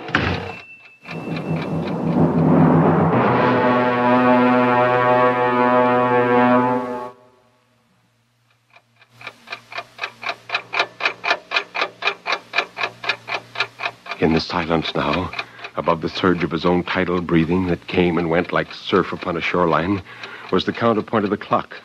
With the men went his only link with the outside world. They were the only two people in the whole city who knew where he was at this moment. No one else, not a living soul, knew where to find him. Now, what would happen to him if he wasn't found and gotten out of here by three o'clock? It was 25 to 2 now, and the clock was ticking so rhythmically, so remorselessly, so fast. Then, at 4 to 2, a door opened above without warning. Oh, blessed sound, oh, lovely sound. The front door this time, and high heeled shoes clacked over his head like castanets. Fran, he shouted. Fran, he yelled. Fran, he screamed. But all that got past the gag was a low whimper that didn't even reach across the basement. His face was wet and dark with the effort it cost him, and a cord stood out at each side of his palpitating neck like a splint. The tap, tap, tap went into the kitchen, stopped a minute. She was putting down her parcels. and came back again. If only there was something he could kick at with his interlocked feet, make a clatter with. He tried hoisting his lashed legs clear of the floor and pounding them down again with all his might. Maybe the sound of the impact would carry up to her. All he got was a soft cushioned sound with twice the pain of striking a stone surface with your bare palm. An electrical discharge of pain shot up the back of his legs, coursed up his spine, and exploded at the back of his head like a brilliant rocket. Meanwhile, her steps had halted about where the hall closet was, and then she went on toward the stairs that led to the upper floor, faded out upon them, going up. She was out of earshot now, temporarily. But she was in the house with him at least. That awful aloneness was gone. He felt such gratitude for her nearness. He felt such love and need for her. He wondered how he could ever have thought of doing away with her only one short hour ago. He saw now that he must have been insane to contemplate such a thing.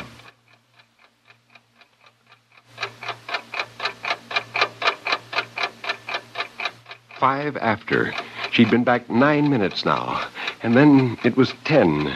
At first slowly, and then faster and faster, terror, which had momentarily been quelled by her return, began to fasten upon him again. Why did she stay up there on the second floor like that? Why didn't she come down here to the basement and look for something? Well, she might intend to stay up there all afternoon. Eleven past two. Forty-nine minutes left. No, not just minutes left. It wasn't fair. Fran, he shrieked. Fran, come down here. Can't you hear me? The gag absorbed his shrieks like a sponge. The phone trilled out suddenly in the lower hallway, midway between him and her. He'd never heard such a beautiful sound before. A tear stood out in each eye. Well, that must be the man now. That would bring her down. And then he heard her quick step descending the stairs to answer it. He could hear every word she said down there where he was. Oh, these cheap matchwood houses.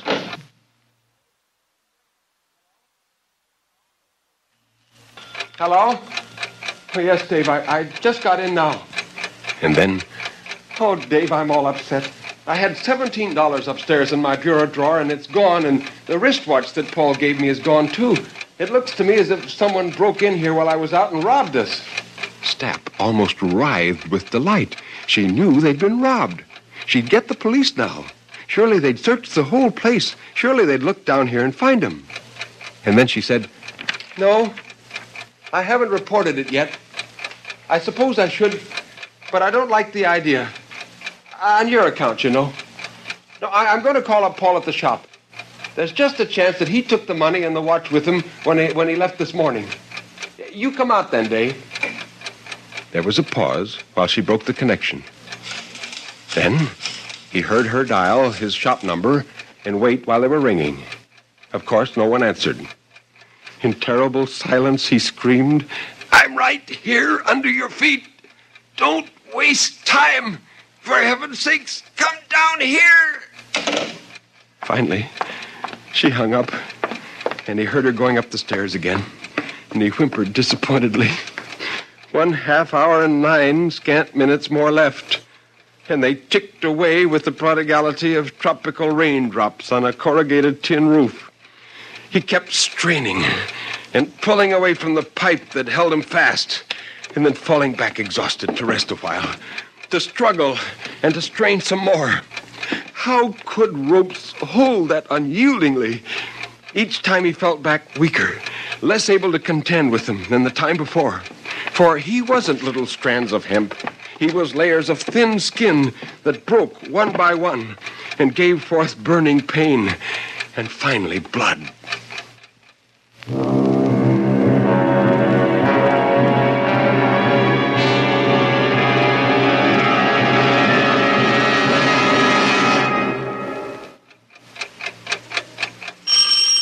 Doorbell rang out sharply. The man had come. Stapp's chest started rising and falling with renewed hope. Four ears instead of two to hear whatever slight sound he might manage to make. And he must, he must find a way of making one. Oh, thank God for this admirer, or whatever he was. Thank God for their rendezvous. She came quickly down the stairs a second time, and her footfalls hurried down the hall. The front door opened. Hello, Dave, he heard her say. And a man's voice asked, Did it turn up yet? No, and I've looked high and low. Now, I tried to get Paul after I spoke to you, but he was out to lunch. Uh, Come in the kitchen. I'll make you a cup of coffee. Her quick, brittle step went first, and his heavier, slower one followed. There was the sound of a couple of chairs being drawn out, and the man's footfalls died out entirely. Hers continued busily back and forth for a while on a short orbit between stove and table. What were they going to do? Sit there for the next half hour? Couldn't he make them hear him in some way? He tried clearing his throat, coughing. It hurt furiously, and the gag muffled even the cough to a blurred, purring sort of sound. 26 to 3, only minutes left now. Minutes. Not even a full half hour anymore. And then he heard her say, Don't you think we ought to tell Paul uh, about us? Oh. What kind of a guy is he? Well, Paul's not narrow minded. He's very fair and broad. And, well, you have nothing to be afraid of on Paul's account, Dave. Didn't you? Well, didn't you ever tell him about me at all? You mean the beginning? Oh, I told him you'd been in one or two scrapes, but like a little fool, I let him think I'd lost track of you and didn't know where you were anymore. Why, why, that was her brother she'd said that about. The man sitting up there with her confirmed it right as the thought burst in his mind. Yeah. I know it's tough on you, sis. You're happily married and all that. Yeah, I, I got no right to come around and gum things up for you. No one's proud of a jailbird and escaped convict for a brother. Yeah, I suppose I'll have to go back and finish it out, but seven years, old friend. Seven years out of a man's life. David, there isn't anything I wouldn't do for you. But before you decide anything, let's go downtown and talk it over with Paul and hear what he says. One chair jarred back, and then the other. He could hear dishes clatter, as though they'd all been lumped together in one stack. But were they going to leave again? Were they going to leave him behind here, alone, with only minutes to spare? Their footsteps went down the hall. Stay with me, Stapp wailed. Stay! Panic stricken, Stapp did the only thing he could think of. Struck the back of his head violently against the thick pipe he was attached to. A, sheet of blue flame darted before his eyes. The pain was so excruciating, he knew he couldn't repeat the attempt. But they must have heard something. Some dull thud or reverberation must have carried up along the pipe. He heard her stop short for a minute and say, What was that? The man said he hadn't heard anything, and she took his word for it. And there was the sound of the front door opening. She passed through it. The man passed through it. It closed. And they were gone.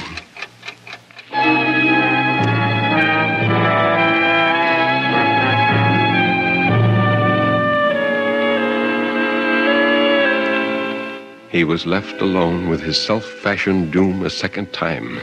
And the first seemed a paradise in retrospect compared to this. For then he had a full hour to spare. He'd been rich in time. And now he only had 15 minutes, one miserly quarter hour.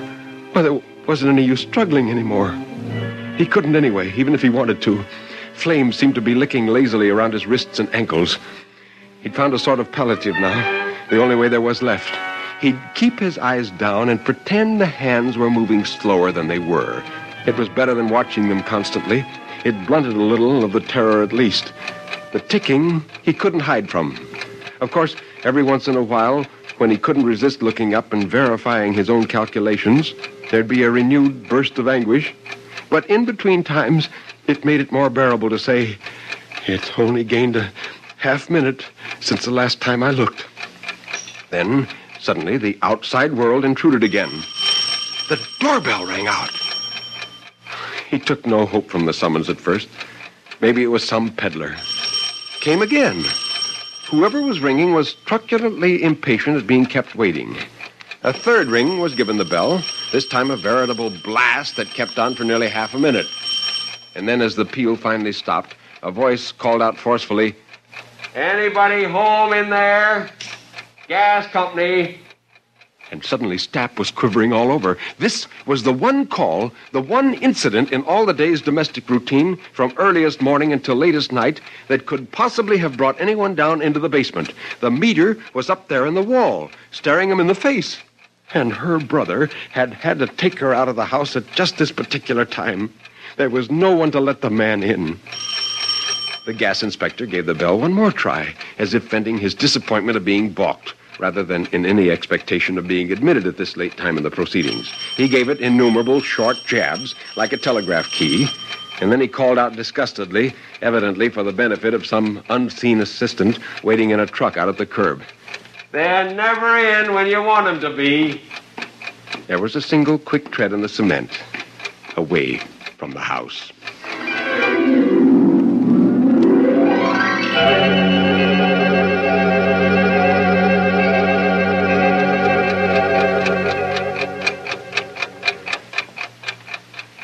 Stapp died a little.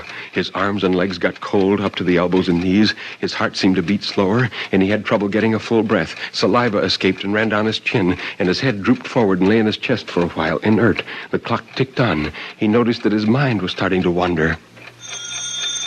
Suddenly, the outer world returned again. This time it was the phone. It must be Fran and her brother trying to find out if he'd come back here in their absence. They'd found the shop closed, must have waited outside it for a while, and when he still didn't come, they didn't know what to make of it.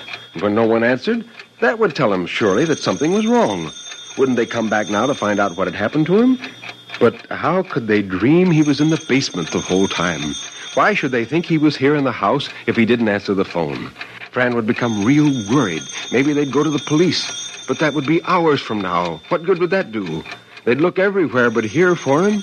When a man is reported missing, the last place they'd look for him would be in his own home. It stopped ringing finally, and silence came rolling back in its wake.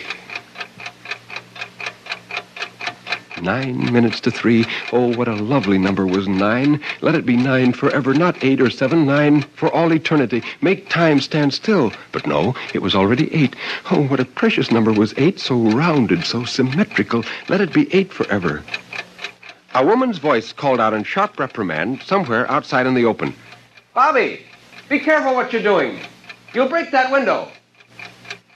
She was some distance away, but the ringing dictatorial tones carried clearly. And suddenly Stapp saw the blurred shape of a ball strike the basement transom. A child came close up against the transom to get its ball back. If it would only turn its head over this way, it could look right in. It could see him. The glass wasn't too smeary for that. Stapp started to weave his head violently from side to side, hoping the flurry of motion would attract it and catch its eye. Suddenly, it had turned its head and was looking directly in through the transom, and then it saw him and it yelled, Mommy, look! An adult hand suddenly darted downward from the upper right hand corner of the transom, caught the child's wrist, bore its arm upward out of sight. But it pointed and said, Mommy, funny man tied up. Look! The adult voice, reasonable, logical, dispassionate, answered, Why, that wouldn't look nice. Mommy can't peer into other people's houses like you can. The child's head disappeared above the transom. Its body was pivoted around away from him. He could see the hollows at the back of its knees for an instant longer, and then its outline on the glass blurred in withdrawal. It was gone. Only the little clear spot it had scoured remained to mock him in his crucifixion.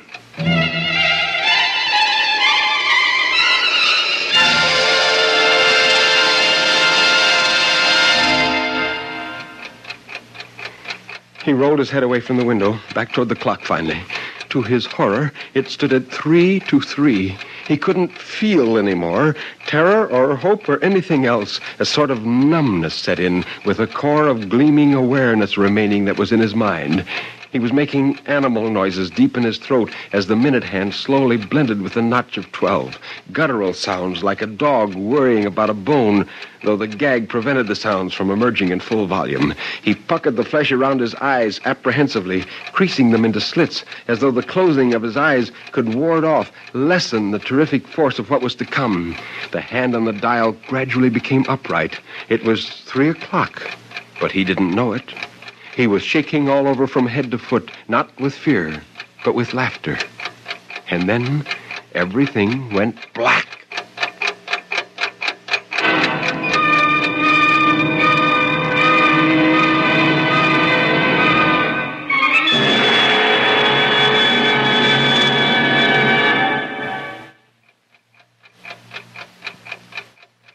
What's the matter with him, officer? What's the matter with him? It was Fran, and she was standing over him crying. The policeman was untying the hard knotted ropes and taking the gag out of his mouth. The officer felt his pulse, and then he said, Well, he must have passed out, ma'am. But I think he'll be all right. We better get him to a hospital, though. The clock said five past seven. The cop got up, went over to the box, and kicked it idly with his foot. It shifted lightly along the wall a little and took the clock with it. And he asked, What's in this box? Stapp's wife looked at it and answered, Nothing. Well, it used to have some kind of fertilizer in it, but only this morning I took it out and emptied it in the flowers I've been trying to raise in the back of the house. It's just an empty box.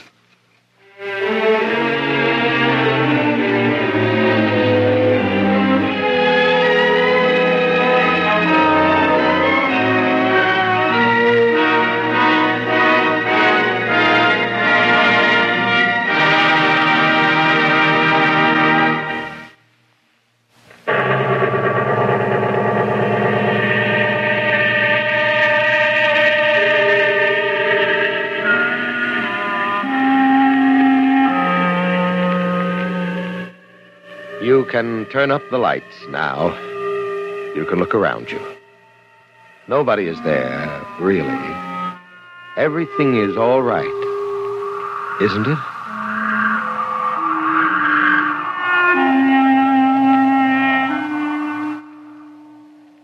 Step over here, Nelson Olmsted, and tell us about next week's story. Next week's story on Sleep No More is about a woman in a large empty house which the wind buffets and shakes. And in that house, the woman finds a pinpoint of light where there should be no light. The story is The Storm by McKnight Malmar.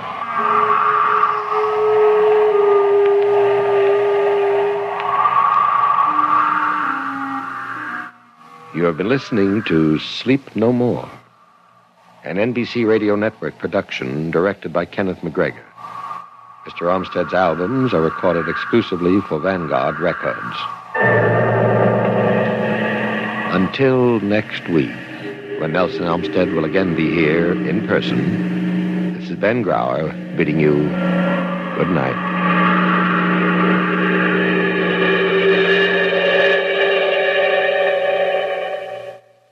Now that's some spooky stuff. December 12th, 1956, Sleep No More. Here on Classic Radio Theater with Wyatt Cox, radio's outstanding theater of thrill suspense comes up next. Civil defenses, common sense. This is Joni James. After nuclear attack, when radioactive fallout will be a potential threat to every living thing. You can't hear, or smell, or taste fallout. Often you can't see it, uh, so you must take shelter and stay there until told it's safe to leave. Now on Classic Radio Theater with Wyatt Cox, radio's outstanding theater of thrill suspense. 76 years ago, December 12th, 1947.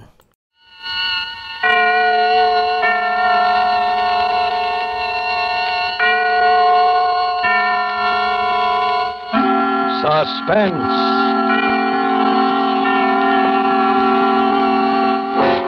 Produced, edited, and directed by William Spier. This is the third in a special limited series of five Friday night performances of Suspense at this hour. Suspense is compounded of mystery and suspicion and dangerous adventure.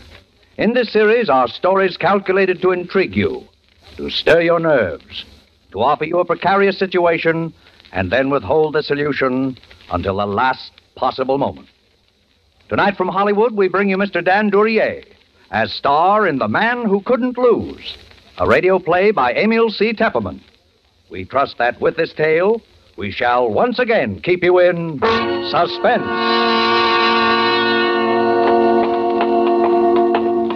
You feeling all right now? Sure. Sure, I feel swell. You better not talk anymore, though. Why not? I got nothing to worry about. That's what I'm telling you. Something's happened to me. I'm not scared. It's just like old man Morsley said. It doesn't happen often. But when it does, well, it's happened to me. Something's happened to me that doesn't happen once in a hundred years. And it all happened in one day. Yeah, it began this morning.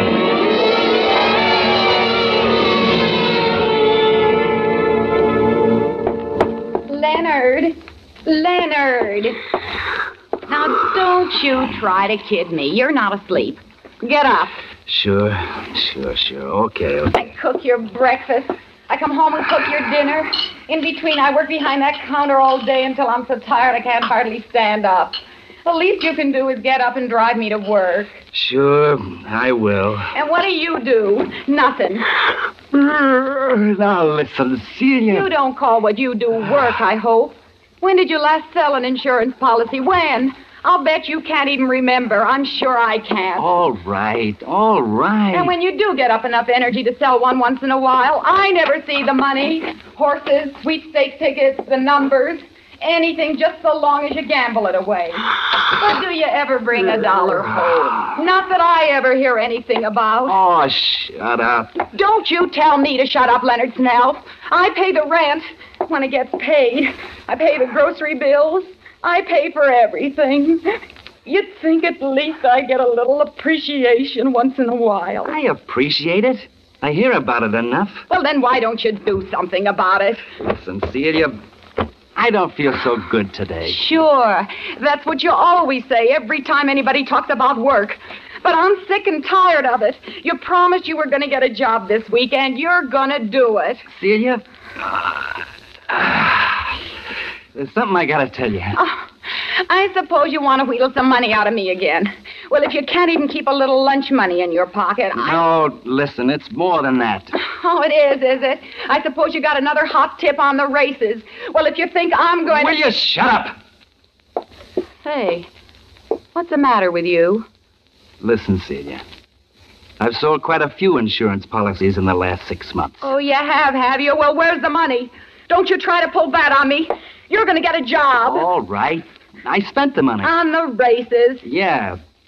Only it wasn't all my money. What do you mean? I mean, I'm $1,800 short. And this is the oh. last day to settle up my accounts with the company. You... You stole it. I thought I was going to get it back and make a killing. I had some tips that were supposed to be sure things. Oh, Oh, I get it. $1,800.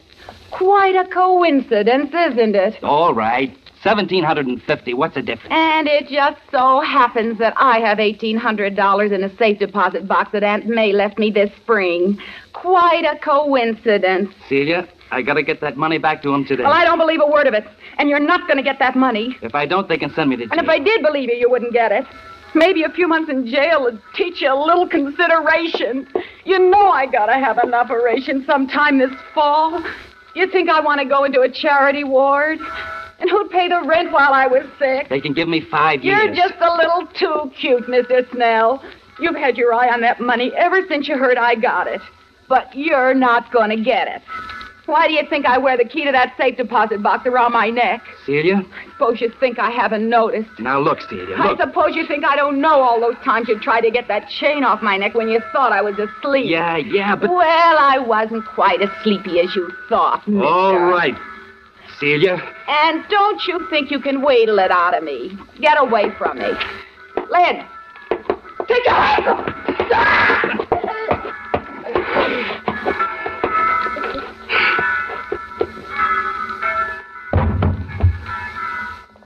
I knew I'd have to do that to you someday.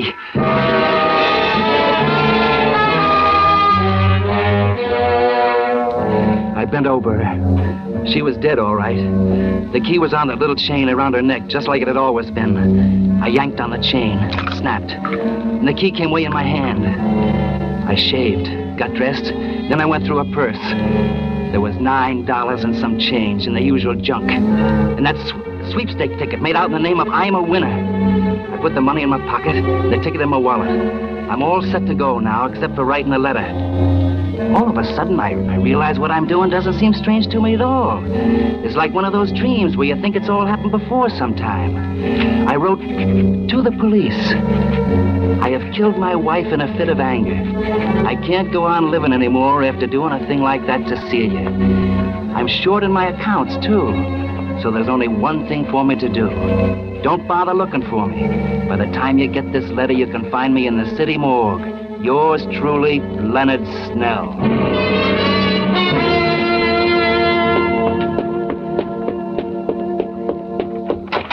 Uh, Leonard. Oh, Leonard. Oh, uh, morning, Mr. Morsley. Leonard, I've just had some great news.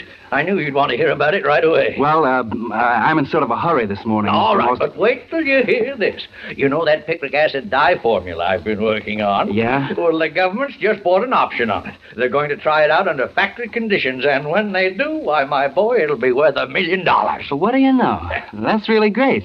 Well, I guess I better be So, going along. so I, I decided to take out that annuity you've been trying to sell me. Got an application with you, have you? You. Oh. Yeah. Sure. Go on inside. Hello there, Leonard. Good morning. Why, my land, you look as though you'd just seen a ghost yourself. he just sold a policy. You don't sell them like that every day, do you, my boy? What's that first premium? About uh, $3,400, isn't it? Yeah. Well, there's a nice commission in that, eh, Leonard? About, uh, oh, $1,800, isn't it? Yeah? Yeah. Eighteen. Well, Leonard certainly deserves it. He works very hard. I see him coming home every evening with that briefcase and all those papers under his arm. Oh, I'm sure he works hard, but uh, perhaps I'm a little more observant than you, dear. Oh, sit right down there, my boy. Okay. Oh, oh, uh, watch out for those bottles behind you, though. That's picric acid. Uh-oh. Uh, what do you mean? You're more observant than I am. Most of those papers are the racing forms, aren't they, Leonard? Well, uh, you know, I've been watching you, Leonard. Yes, you've had a hard time, but you're a gambler. You believe a lot in luck. Well, sir, now I've got a theory about luck. when were you born? Uh, oh, uh, uh, March 1st, 1878. Yes, luck is something that can come in big doses sometimes. It's almost as though fate had planned it out ahead of time. Who's the beneficiary? Oh, uh, my wife. Oh, that's so good. Uh, there's a perfectly good mathematical explanation for it, of course. Now, a number of unrelated events converge, and they all add up to the good fortune of a single man. Oh, happens once in a century, perhaps, but it, it does happen. Um, you can uh, make out the check. Uh, oh, oh, of course.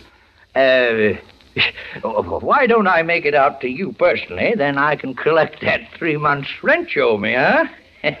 Why, sure. Sure. That'd be uh, $3,255. oh, fine, fine, fine. I- I'll make it out right. You know, Leonard, I was saying to Sam just this morning, I'm almost as glad for your sake as for ours. My, won't Celia be surprised? Huh?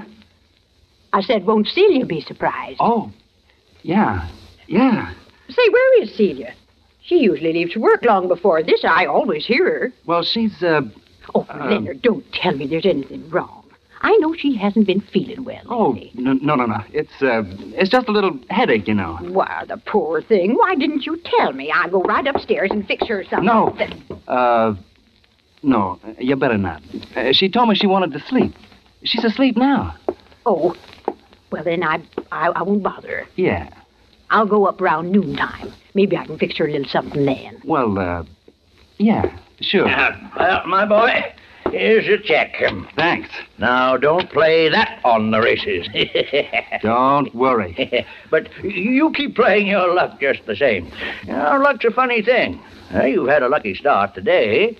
Maybe your luck's changed. Yeah. Yeah. Maybe it has.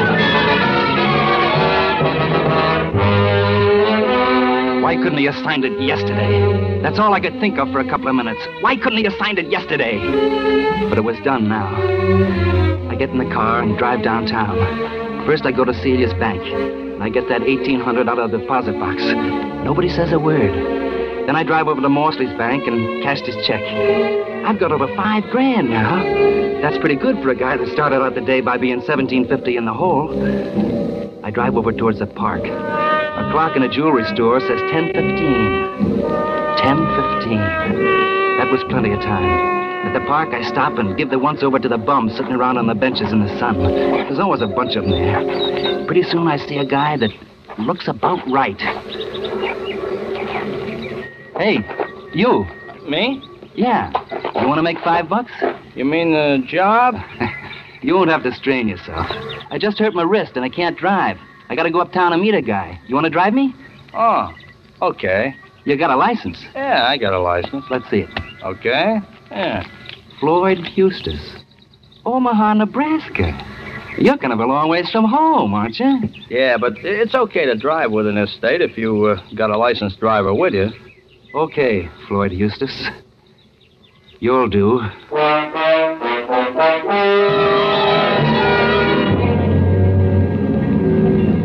In the car and head uptown. My luck is holding. This guy couldn't have been better if I looked a week. I see another clock, and it's only a little past 10.30 now. I still got lots of time, so I decide to clean up the details now. How am I doing? Okay. But turn right at the next block, Floyd. I want to go by the 43rd Street Post Office and mail a letter. Sure. Hey, you could mail it at a letterbox, though. Yeah, but I don't want to mail it at a letterbox. Oh, okay. Go into the post office and get a stamp, mail the letter.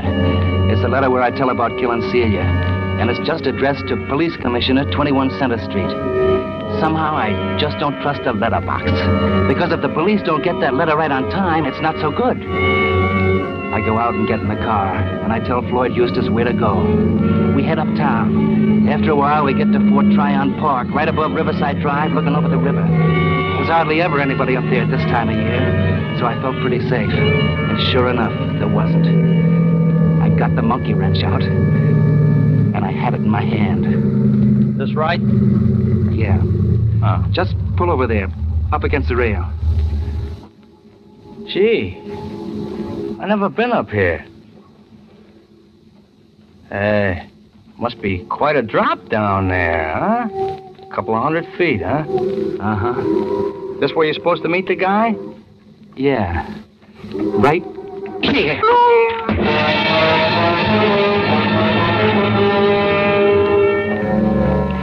I dragged him into the back seat and took off all his clothes, and then all mine. I changed clothes with him right down to the underwear and socks. I put all my papers in his pockets my license, old man Morsley's application, my wallet, the works. Then I dragged him up front again in the driver's seat. I propped him there with his arms through the wheel so his head would go through the windshield. I had to be sure they'd say it was me, nobody else. Then I put her in gear and let her go.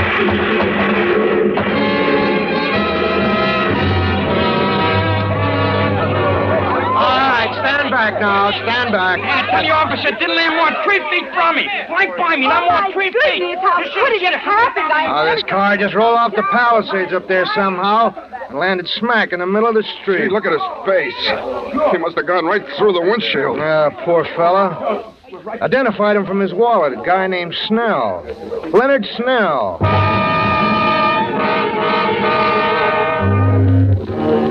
I was free. I was free of Celia and all her bellyaching. I was free to do anything I wanted. I had five grand in my pocket, and the cops had Leonard Snell's body down at the morgue, just like I told them they would in the letter. My luck was holding but good. I went over to the 181st Street bus station. There was a bus leaving for Boston in 20 minutes. I bought a ticket. Then I got a paper on the corner, went into the lunchroom, and sat down at the counter. What's yours? Uh, scrambled eggs with bacon, French fries, orange juice, and coffee. And I gotta catch a bus. It won't take long, will it? No longer than it takes an egg to scramble. Whoop. Excuse me. That's all right, Mac. I like to read a newspaper while I eat myself. Uh huh. Kind of aids the digestion, I find. Yeah. Mm-hmm. Here's your orange juice. Thanks. Some guys have all the luck, don't they? Huh? I said some guys have all the luck. I was just noticing in your paper there about those Irish sweepstake winners. Oh, yeah. Yeah. Some guys What's the matter? You feel bad? have all the luck.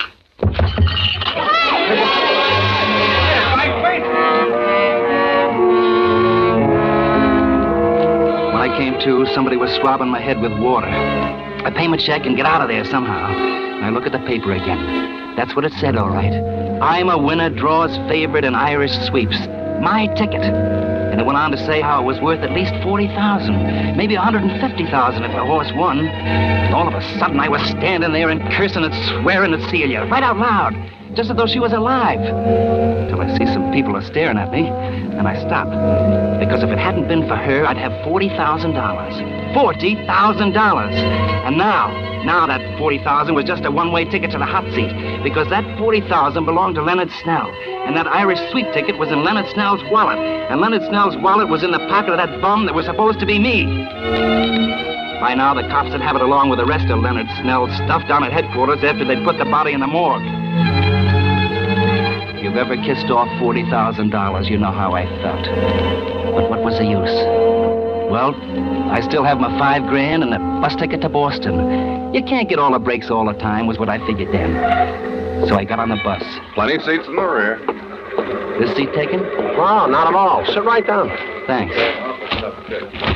Oh, well, well. Somebody must be feeling pretty good this afternoon. Huh? Ah, the guy that's got the I'm a winner ticket in the sweeps. I see it says there they'd, they'd pay him $40,000 for it right now. $40,000. Yeah. I'd sure like to be in his shoes, wouldn't you? Yeah. Yeah, I see it says. Here, you want to read it?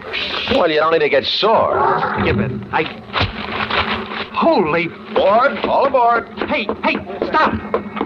Let me out of here. I gotta get out of here. Well, make up your mind. I don't have to make up my mind, brother. I don't have to make up my mind. Was right then I got the idea what was happening. It was just like old man Morsley said. It may only happen once in a hundred years, but it was happening to me. My luck was riding high. And when your luck is like that, you just can't lose. Because there it was, right in the paper again, on page three. Freak explosion in Brooklyn kills three. And it was my house. And the people killed were Morsley and his wife. And Celia. They thought it was caused by all Morsley's chemicals or something. I don't know, and I didn't care. All I knew was they thought Celia had been killed by the explosion and the fire, and I was in the clear. I could walk into the police station and get my sweepstake ticket. Collect that 40000 it'd be set for life. I knew just what I was going to tell them. It was a lead pipe cinch. I was walking on air all the way to the police station, and I was going up the steps. And then I stopped. I just remembered something terrible. And if I'd remembered it ten seconds later, I'd have walked right into the electric chair. I remembered the letter. I was licked. By morning, the cops would have that letter in my own handwriting, over my own signature, telling how I'd killed Celia. That letter that I'd taken all the trouble to mail at the 43rd Street Post Office so it'd be sure to get off all right. I felt even worse this time than I had before, because it seemed like I'd almost had that money right in my hands. I was pretty shaky. I went into a bar to get a drink. Yes, sir, what'll it be? Double shot. All right, sir. Little chaser on the side? No. That'll be a dollar. Leave the bottle.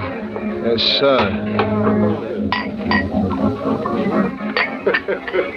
sir. And now we bring you five minutes of the latest news. Hey, uh, Charlie, turn that radio up, will you? One of the most daring holdups in the annals of New York crime, a gang of armed men this noon robbed a United States mail truck just as it was leaving the 43rd Street Post Office, removing eight sacks of mail, the entire morning collection of the post office. Apparently, the gunmen were after a shipment of currency destined for the Federal Reserve Bank. But according to officials, the joke is on the gangsters. Oh, All they got was the regular mail. Hey, you didn't pay me. The holdup Yeah. staged in broad daylight Wait, was you got change? Keep it. Keep the change. long, several of whom stated they I knew it had happened now. I couldn't lose. I simply couldn't lose. Because those mugs that stuck up that mail truck had got my letter. Nothing in the world could stop me now.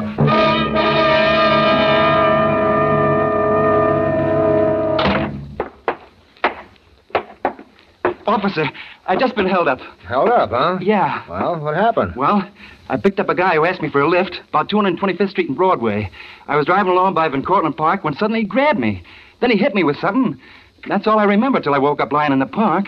My car was gone. Then I found out that he'd taken my wallet, my money, everything. I see. What's your name? Leonard Snell. I live- Leonard Snell. That's right. Oh, uh, say, Lieutenant. Yes? This gentleman is Mr. Leonard Snell. He was held up this morning. His car was stolen. Oh. Uh, just step in here, will you, Mr. Snell? Why, sure. Sit down. Thanks. Uh, I've got some news for you, Mr. Snell. Did you find my car? Well, yes. The fella didn't get far. He drove off the cliff at Fort Tryon Park. He's dead. For a while, we thought it was you. But uh, that wasn't what I was going to tell you. Well, what was it? You haven't seen the papers today? Not since this morning. What? I've got some good news and some bad news for you, Mr. Snell. Maybe I better tell you the bad news first. It's pretty bad. Go ahead. Your wife was killed this morning, Mr. Snell, in a fire at your home. My wife. Killed.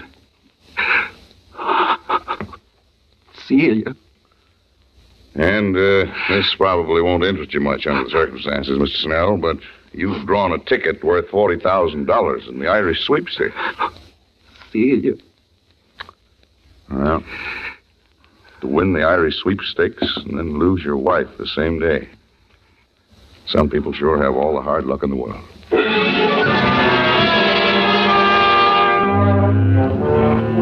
Luck. Within about 15 minutes, more things were happening to me that could happen to most guys in a dozen lifetimes. And then comes the jackpot I've been waiting for. Will you hold it, Mr. Snell? Just hold that pose right there. If you care to make a Just statement, one more Mr. now. Uh, would you mind telling the public how you feel? Because Please, fellas. Please. I, I hate to trouble you at this time, Mr. Snell, but the syndicate I represent is prepared to offer you $40,000 in cash for your sweepstake ticket. I've got the money right here in cash. All right. I don't care much about the money, though. Now.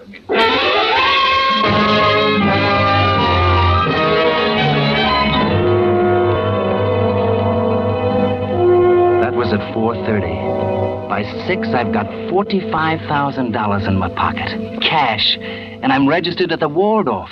And I'm sitting down to dinner. I'll take the plank steak, please. Medium. Yes, sir. I will have your order very shortly, sir. Hello, pal. Mind if I sit down? Uh, you a reporter? Not exactly. I'm a sort of a collector. You owe me 40 grand, pal. I come to collect. Now. 40? Why, I don't yes, know you do, pal. Remember that little letter you wrote to the police commissioner this morning? That you mailed at the 43rd Street post office? Some friends of mine found it. They figure it's worth just about 40 grand. You. You're one of the guys that stuck up the mail truck. You want to make something of it? There's a big reward. There's a cop right outside the hotel. I kind of figured you'd play ball.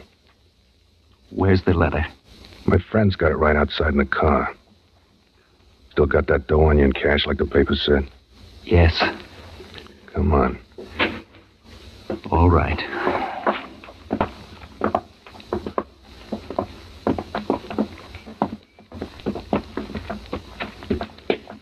Pretty lucky guy at that, pal. Suppose somebody else had got that letter. Shh. Don't worry, pal. Your secret is safe with me. Here's the car. That guy Pinky? Yeah. He's acting real reasonable, too. Hey, get up the cash, pal. You recognize the letter, don't you? Here's your money. And here's your letter. Only don't try anything funny because we still know what that letter says. And the cops could always dig up the body and find out how your old lady really kicked off. Couldn't they? I think he gets the idea. So long, pal. So long, It pal. is. It is. Officer! Officer, those are the gangsters that held up the mail truck. I saw them this afternoon.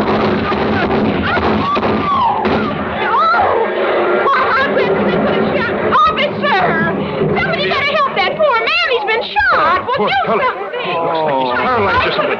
Hey, you! Oh. You go call an ambulance. I'll stand by this man. Okay. what's up, Jerry? No. I just had a little No. shooting match with those mail robbers.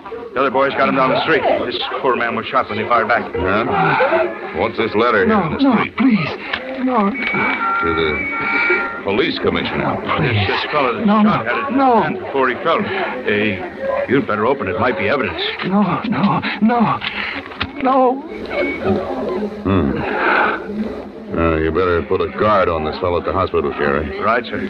From the looks of this letter, he's going to stand trial for murder.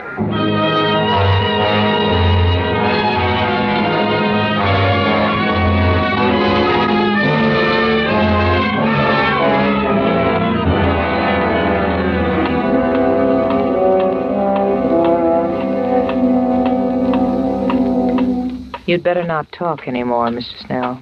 What's the difference? What's the difference how much I talk? That's what I wanted to tell them. What if they did get the letter? I'll never go to trial. Because I got luck, don't you see? It comes once in a hundred years. And I got it. I got that kind of luck. And when you got that kind of luck, you can't lose. You can't lose. You can't lose.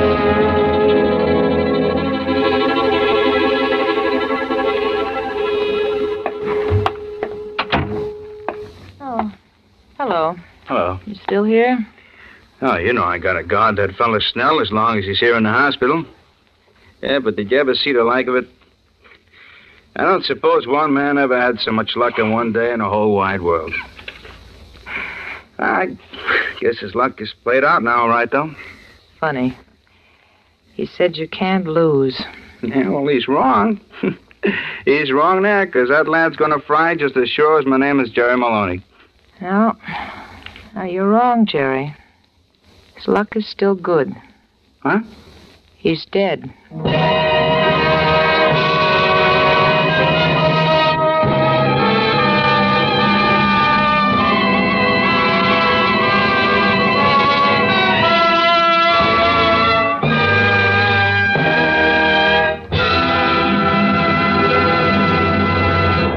Suspense. Produced, edited, and directed by William Spier. Tonight you heard Mr. Dan Duryea as star of The Man Who Couldn't Lose. This was the third in a limited series of five Friday night performances at this hour, which will present radio's outstanding theater of thrills, Suspense. Dan Duryea will soon be seen in Black Bart, an Universal International picture.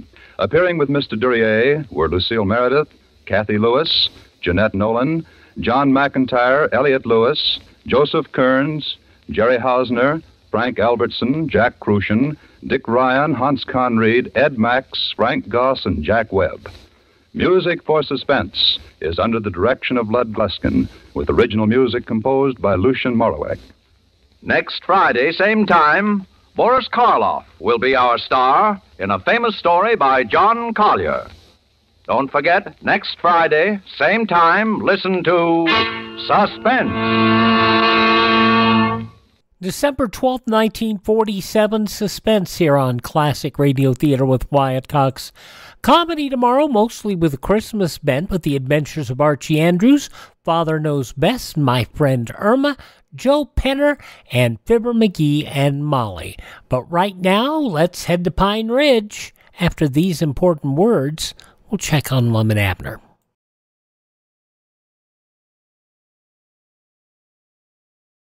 Alert today, alive tomorrow.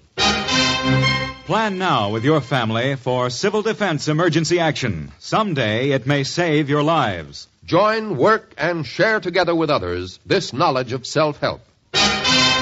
Civil defense, an American tradition. And let's see what's going on down in the uh, Pine uh, Pine down in Pine Ridge, Arkansas. Yes, that's what I wanted to say. And see what's going on in the Jot 'em Down store, library, and bakery. As we head back to Lum and Abner, this episode 82 years ago, December 12th, 1941. The makers of Alka Seltzer bring you Lum and Abner.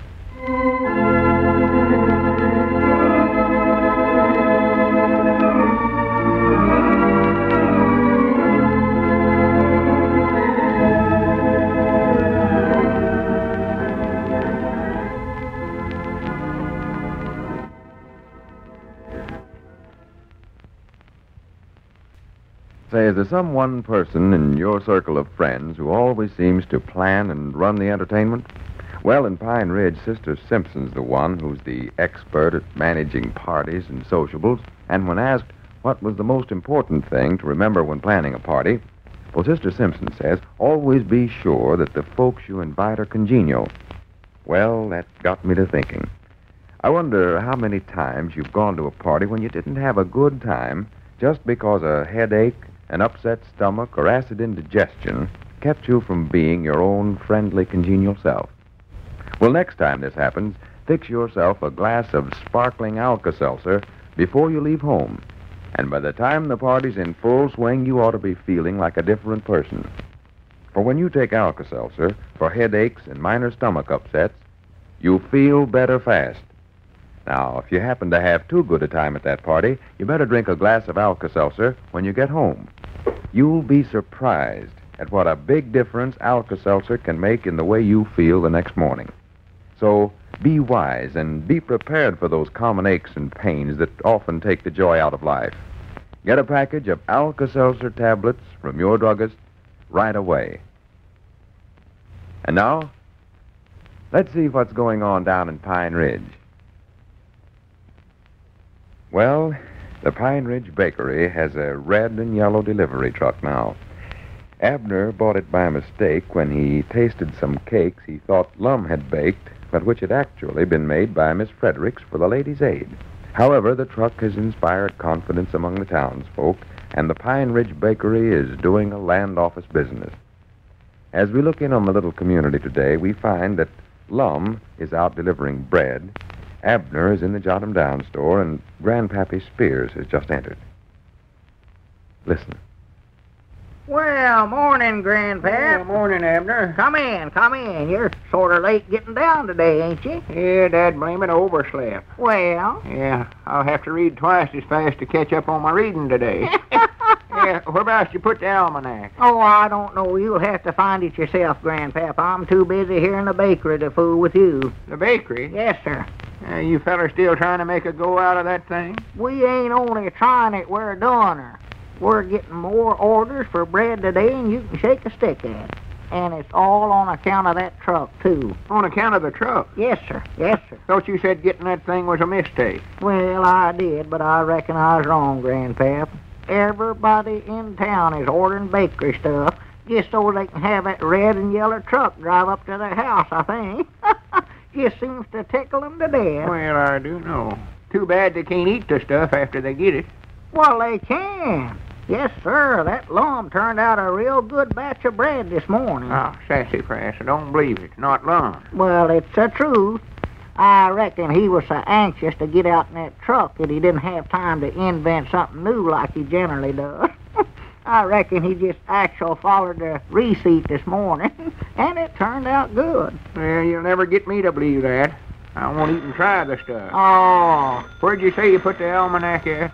I don't know. I reckon it's over in one of the shelves. Wait a minute, wait a minute. I believe there's our ring. I wish you'd keep that book in the same place. This is a nuisance. Hello, jot 'em down store, library, and bakery talking. Gilbert, the boy trapper. Mom? Yes. Yes, Mom. Lorna Doone. Too low. Well, You and there. That sounds good. why, this afternoon, I think. Yes, Mom, it'll be delivered in a truck. Andy Grant's pluck. Uh-huh. All right, Miss Blevins. Uh, goodbye.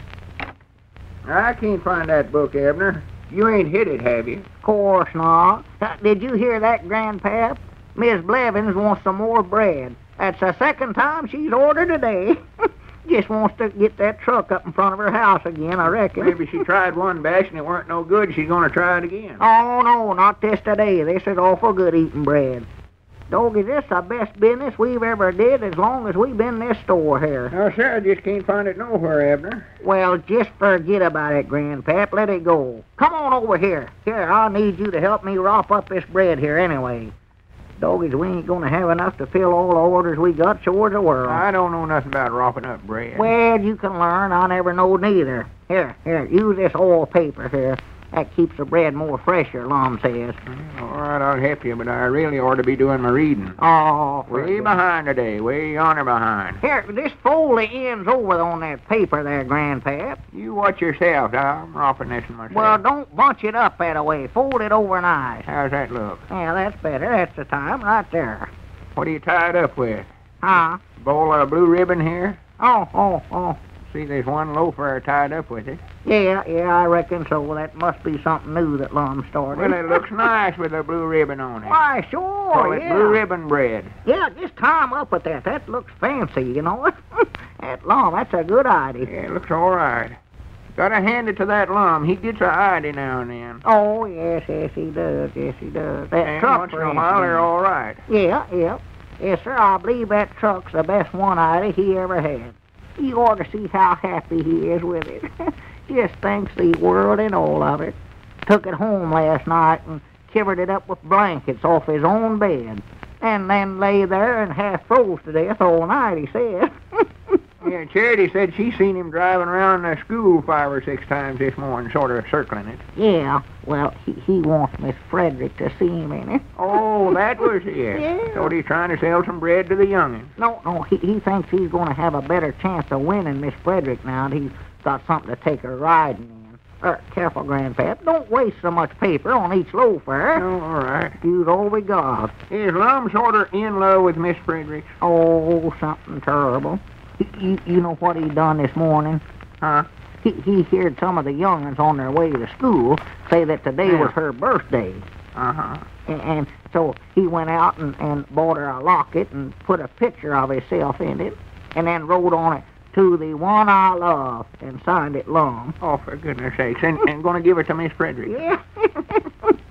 Yeah. yes, sir, he done Oh, it. slush and mush. Slush and mush. Sound like a bunch of piss posh. Yeah, well, wait till you hear the rest of it. He's so bashful that he was afeard to come right out and give it to her, you know. Natural, natural. So, you know what he done? No telling. He, he baked the, the locket right up in a loaf of bread. He never. He did done it. And then he's going to deliver the loaf of bread to her for a surprise. Well, I'll sworn to goodness that Lum. Of course, he more than likely won't have enough nerve to deliver it over to her himself. He is, without a doubt, the bashfulest one human I ever knowed. Yeah. Next to Dave Chester he is. Who? You recollect old Dave. Married one of the Haskin girls. Melissa, I believe it was. No, I don't recollect him. Oh, sure you do. Old Bashful Dave, they call him. Played the harmonica. That is, till he lost it in his whiskers one day. Lost the harmonica? Yes, sir. That's how long his whiskers were. Ah. And the reason they're so long was on account of he was so bashful he never had enough nerve to stand up to a mirror and shave himself. he done her. He sure done. I don't believe It's the truth, Abner, Oh, according to the almanac, or to the folks around Cherry Hill. Oh, Grandpap, now you oughtn't to believe everything you hear. They tell you, wait a minute, wait a minute, wait a minute, there comes a truck. Huh? That's Lum coming up. Oh, yeah. Now, don't you dare let on to him that I told you about that locket for Miss Frederick. Oh, no, I won't say a word. No, sir, he's awful sensitive about them things. Yeah, I understand. Look at him rushing around there. Must be in a hurry. Oh, he's been going like that all day. Who's that with him? Oh, Cedric, Cedric. Must be helping with the delivery, I reckon. Yeah, must be. Look at old Lum, he just tickled plumb to death. well, how's the delivers going, Lum? I ain't got time to talk now, Abner. Howdy, Grandpap. Howdy, Lum. Hurry up and get the rest of them loads into the truck, Abner. Cedric will help you. Yeah, yeah, we'll get him loaded. Yeah, how are you, Cedric? Oh, pretty good, Mr. Abner. Is these the ones to be loaded right here? Yeah, yeah, that's him, that's him right there, Cedric. Cedric's going to take the truck out this time. Go ahead, Cedric. Start loading them up there. Is this the bread right here? These yeah, everything on the counter there, Cedric. Just load it up. I'm going back here in the feed room and get some more flour. We're going to have to bake up some more bread. All right, doggies, we're doing the business all right. I never would have believed this bakery would have worked out this good. Never would have believed it. Yeah, I reckon Lum was right after all. Everybody resting around like the place is on fire. Uh, you can't carry all them at once, Cedric. You better make two trips out of it now. Puts me in mind old Dave. Dave Chester. He rested around so much he never stopped in front of a mirror long enough to shave himself even. Uh-oh. Never shaved once from his 19th birthday on. Finally, his whiskers growed so long he lost a banjo in 'em. Banjo? I thought it was a harmonica. No. Must have been somebody else you thinking about, Abner. Old Dave lost a banjo. You recollect old Dave, Abner? Married one of the Haskin girls. No, I don't recollect him. Rose, I believe her name was. Either a blonde or a brunette, I don't recollect which. Carried the mail one winter when old Dave was sick. Well, I do know. Is this all he is now, Mr. Abner? Yeah, yeah, that's all we got baked up, Cedric. Well, we got a heap more than this sold. Yeah, I know we have, but just deliver as far as it'll go, and then hurry right on back here now. Yes, Mom, I will. Yeah, that's the thing to do. Yeah, I want to use that truck for long, Cedric. Hey, wait a minute, Cedric. I'll go with you. I want to try out that new truck. Yeah, take a ride with him, Grandpa. Here, Abner, take your knife and open this sack of flour and pour it in that tub there. oh, yeah, yeah, sure, sure. Yeah, let me get my knife here. And Granny, we're doing the business, you know. Oh, I never seen the like of it. I bound you this'll make Miss Frederick sit up and take notice of me. yeah, yeah. She'll be treating that Frank Foster like a pair of old shoes. Why, sure she will. Now, Lum, when you going to take that loaf of bread over to her with a locket in it? And just as quick as Cedric gets back with the truck, I'll have him take it over there to her. Oh, you're going to have Cedric deliver it, huh? Yeah. Granny, wait a minute. Where is that loaf of bread? I don't know. I ain't seen it. You the one that had it this morning. Well, I laid it right here on the counter. Wait a minute. You don't reckon Cedric loaded it in the truck with them others? Well, he must have. He's taking everything here on the counter. Oh, my goodness. Well, I'll have to catch him before he delivers it to the wrong place. Well, how are you going to tell which loaf is which, Lum? They all look alike. Oh, I can tell it. I wrapped it up and tied it with a blue ribbon. Blue ribbon? Yeah, didn't you see it sitting here? Well, I'll be dead blamed. What's the matter? Uh-oh, we've did it now. Did what? What are you talking about? Well, me and Grandpap wrapped up every one of them loads with blue ribbon, Lum, and now they're all sewed in that truck together. Ain't no telling who'll get that present of yours now. Oh, my goodness. To the one I love. And my name signed to it. Well, I guess Lum won't forget that experience for a while, will he? And here's something you won't want to forget, friends. Guard against the danger of a deficiency of vitamins A and D. Now, here's how you and every member of your family can do it, and for only a penny a day per person. Take one a day brand, vitamin A and D tablets every day. That's the name, one a day vitamin tablets. Offered and guaranteed by the makers of Alka Seltzer.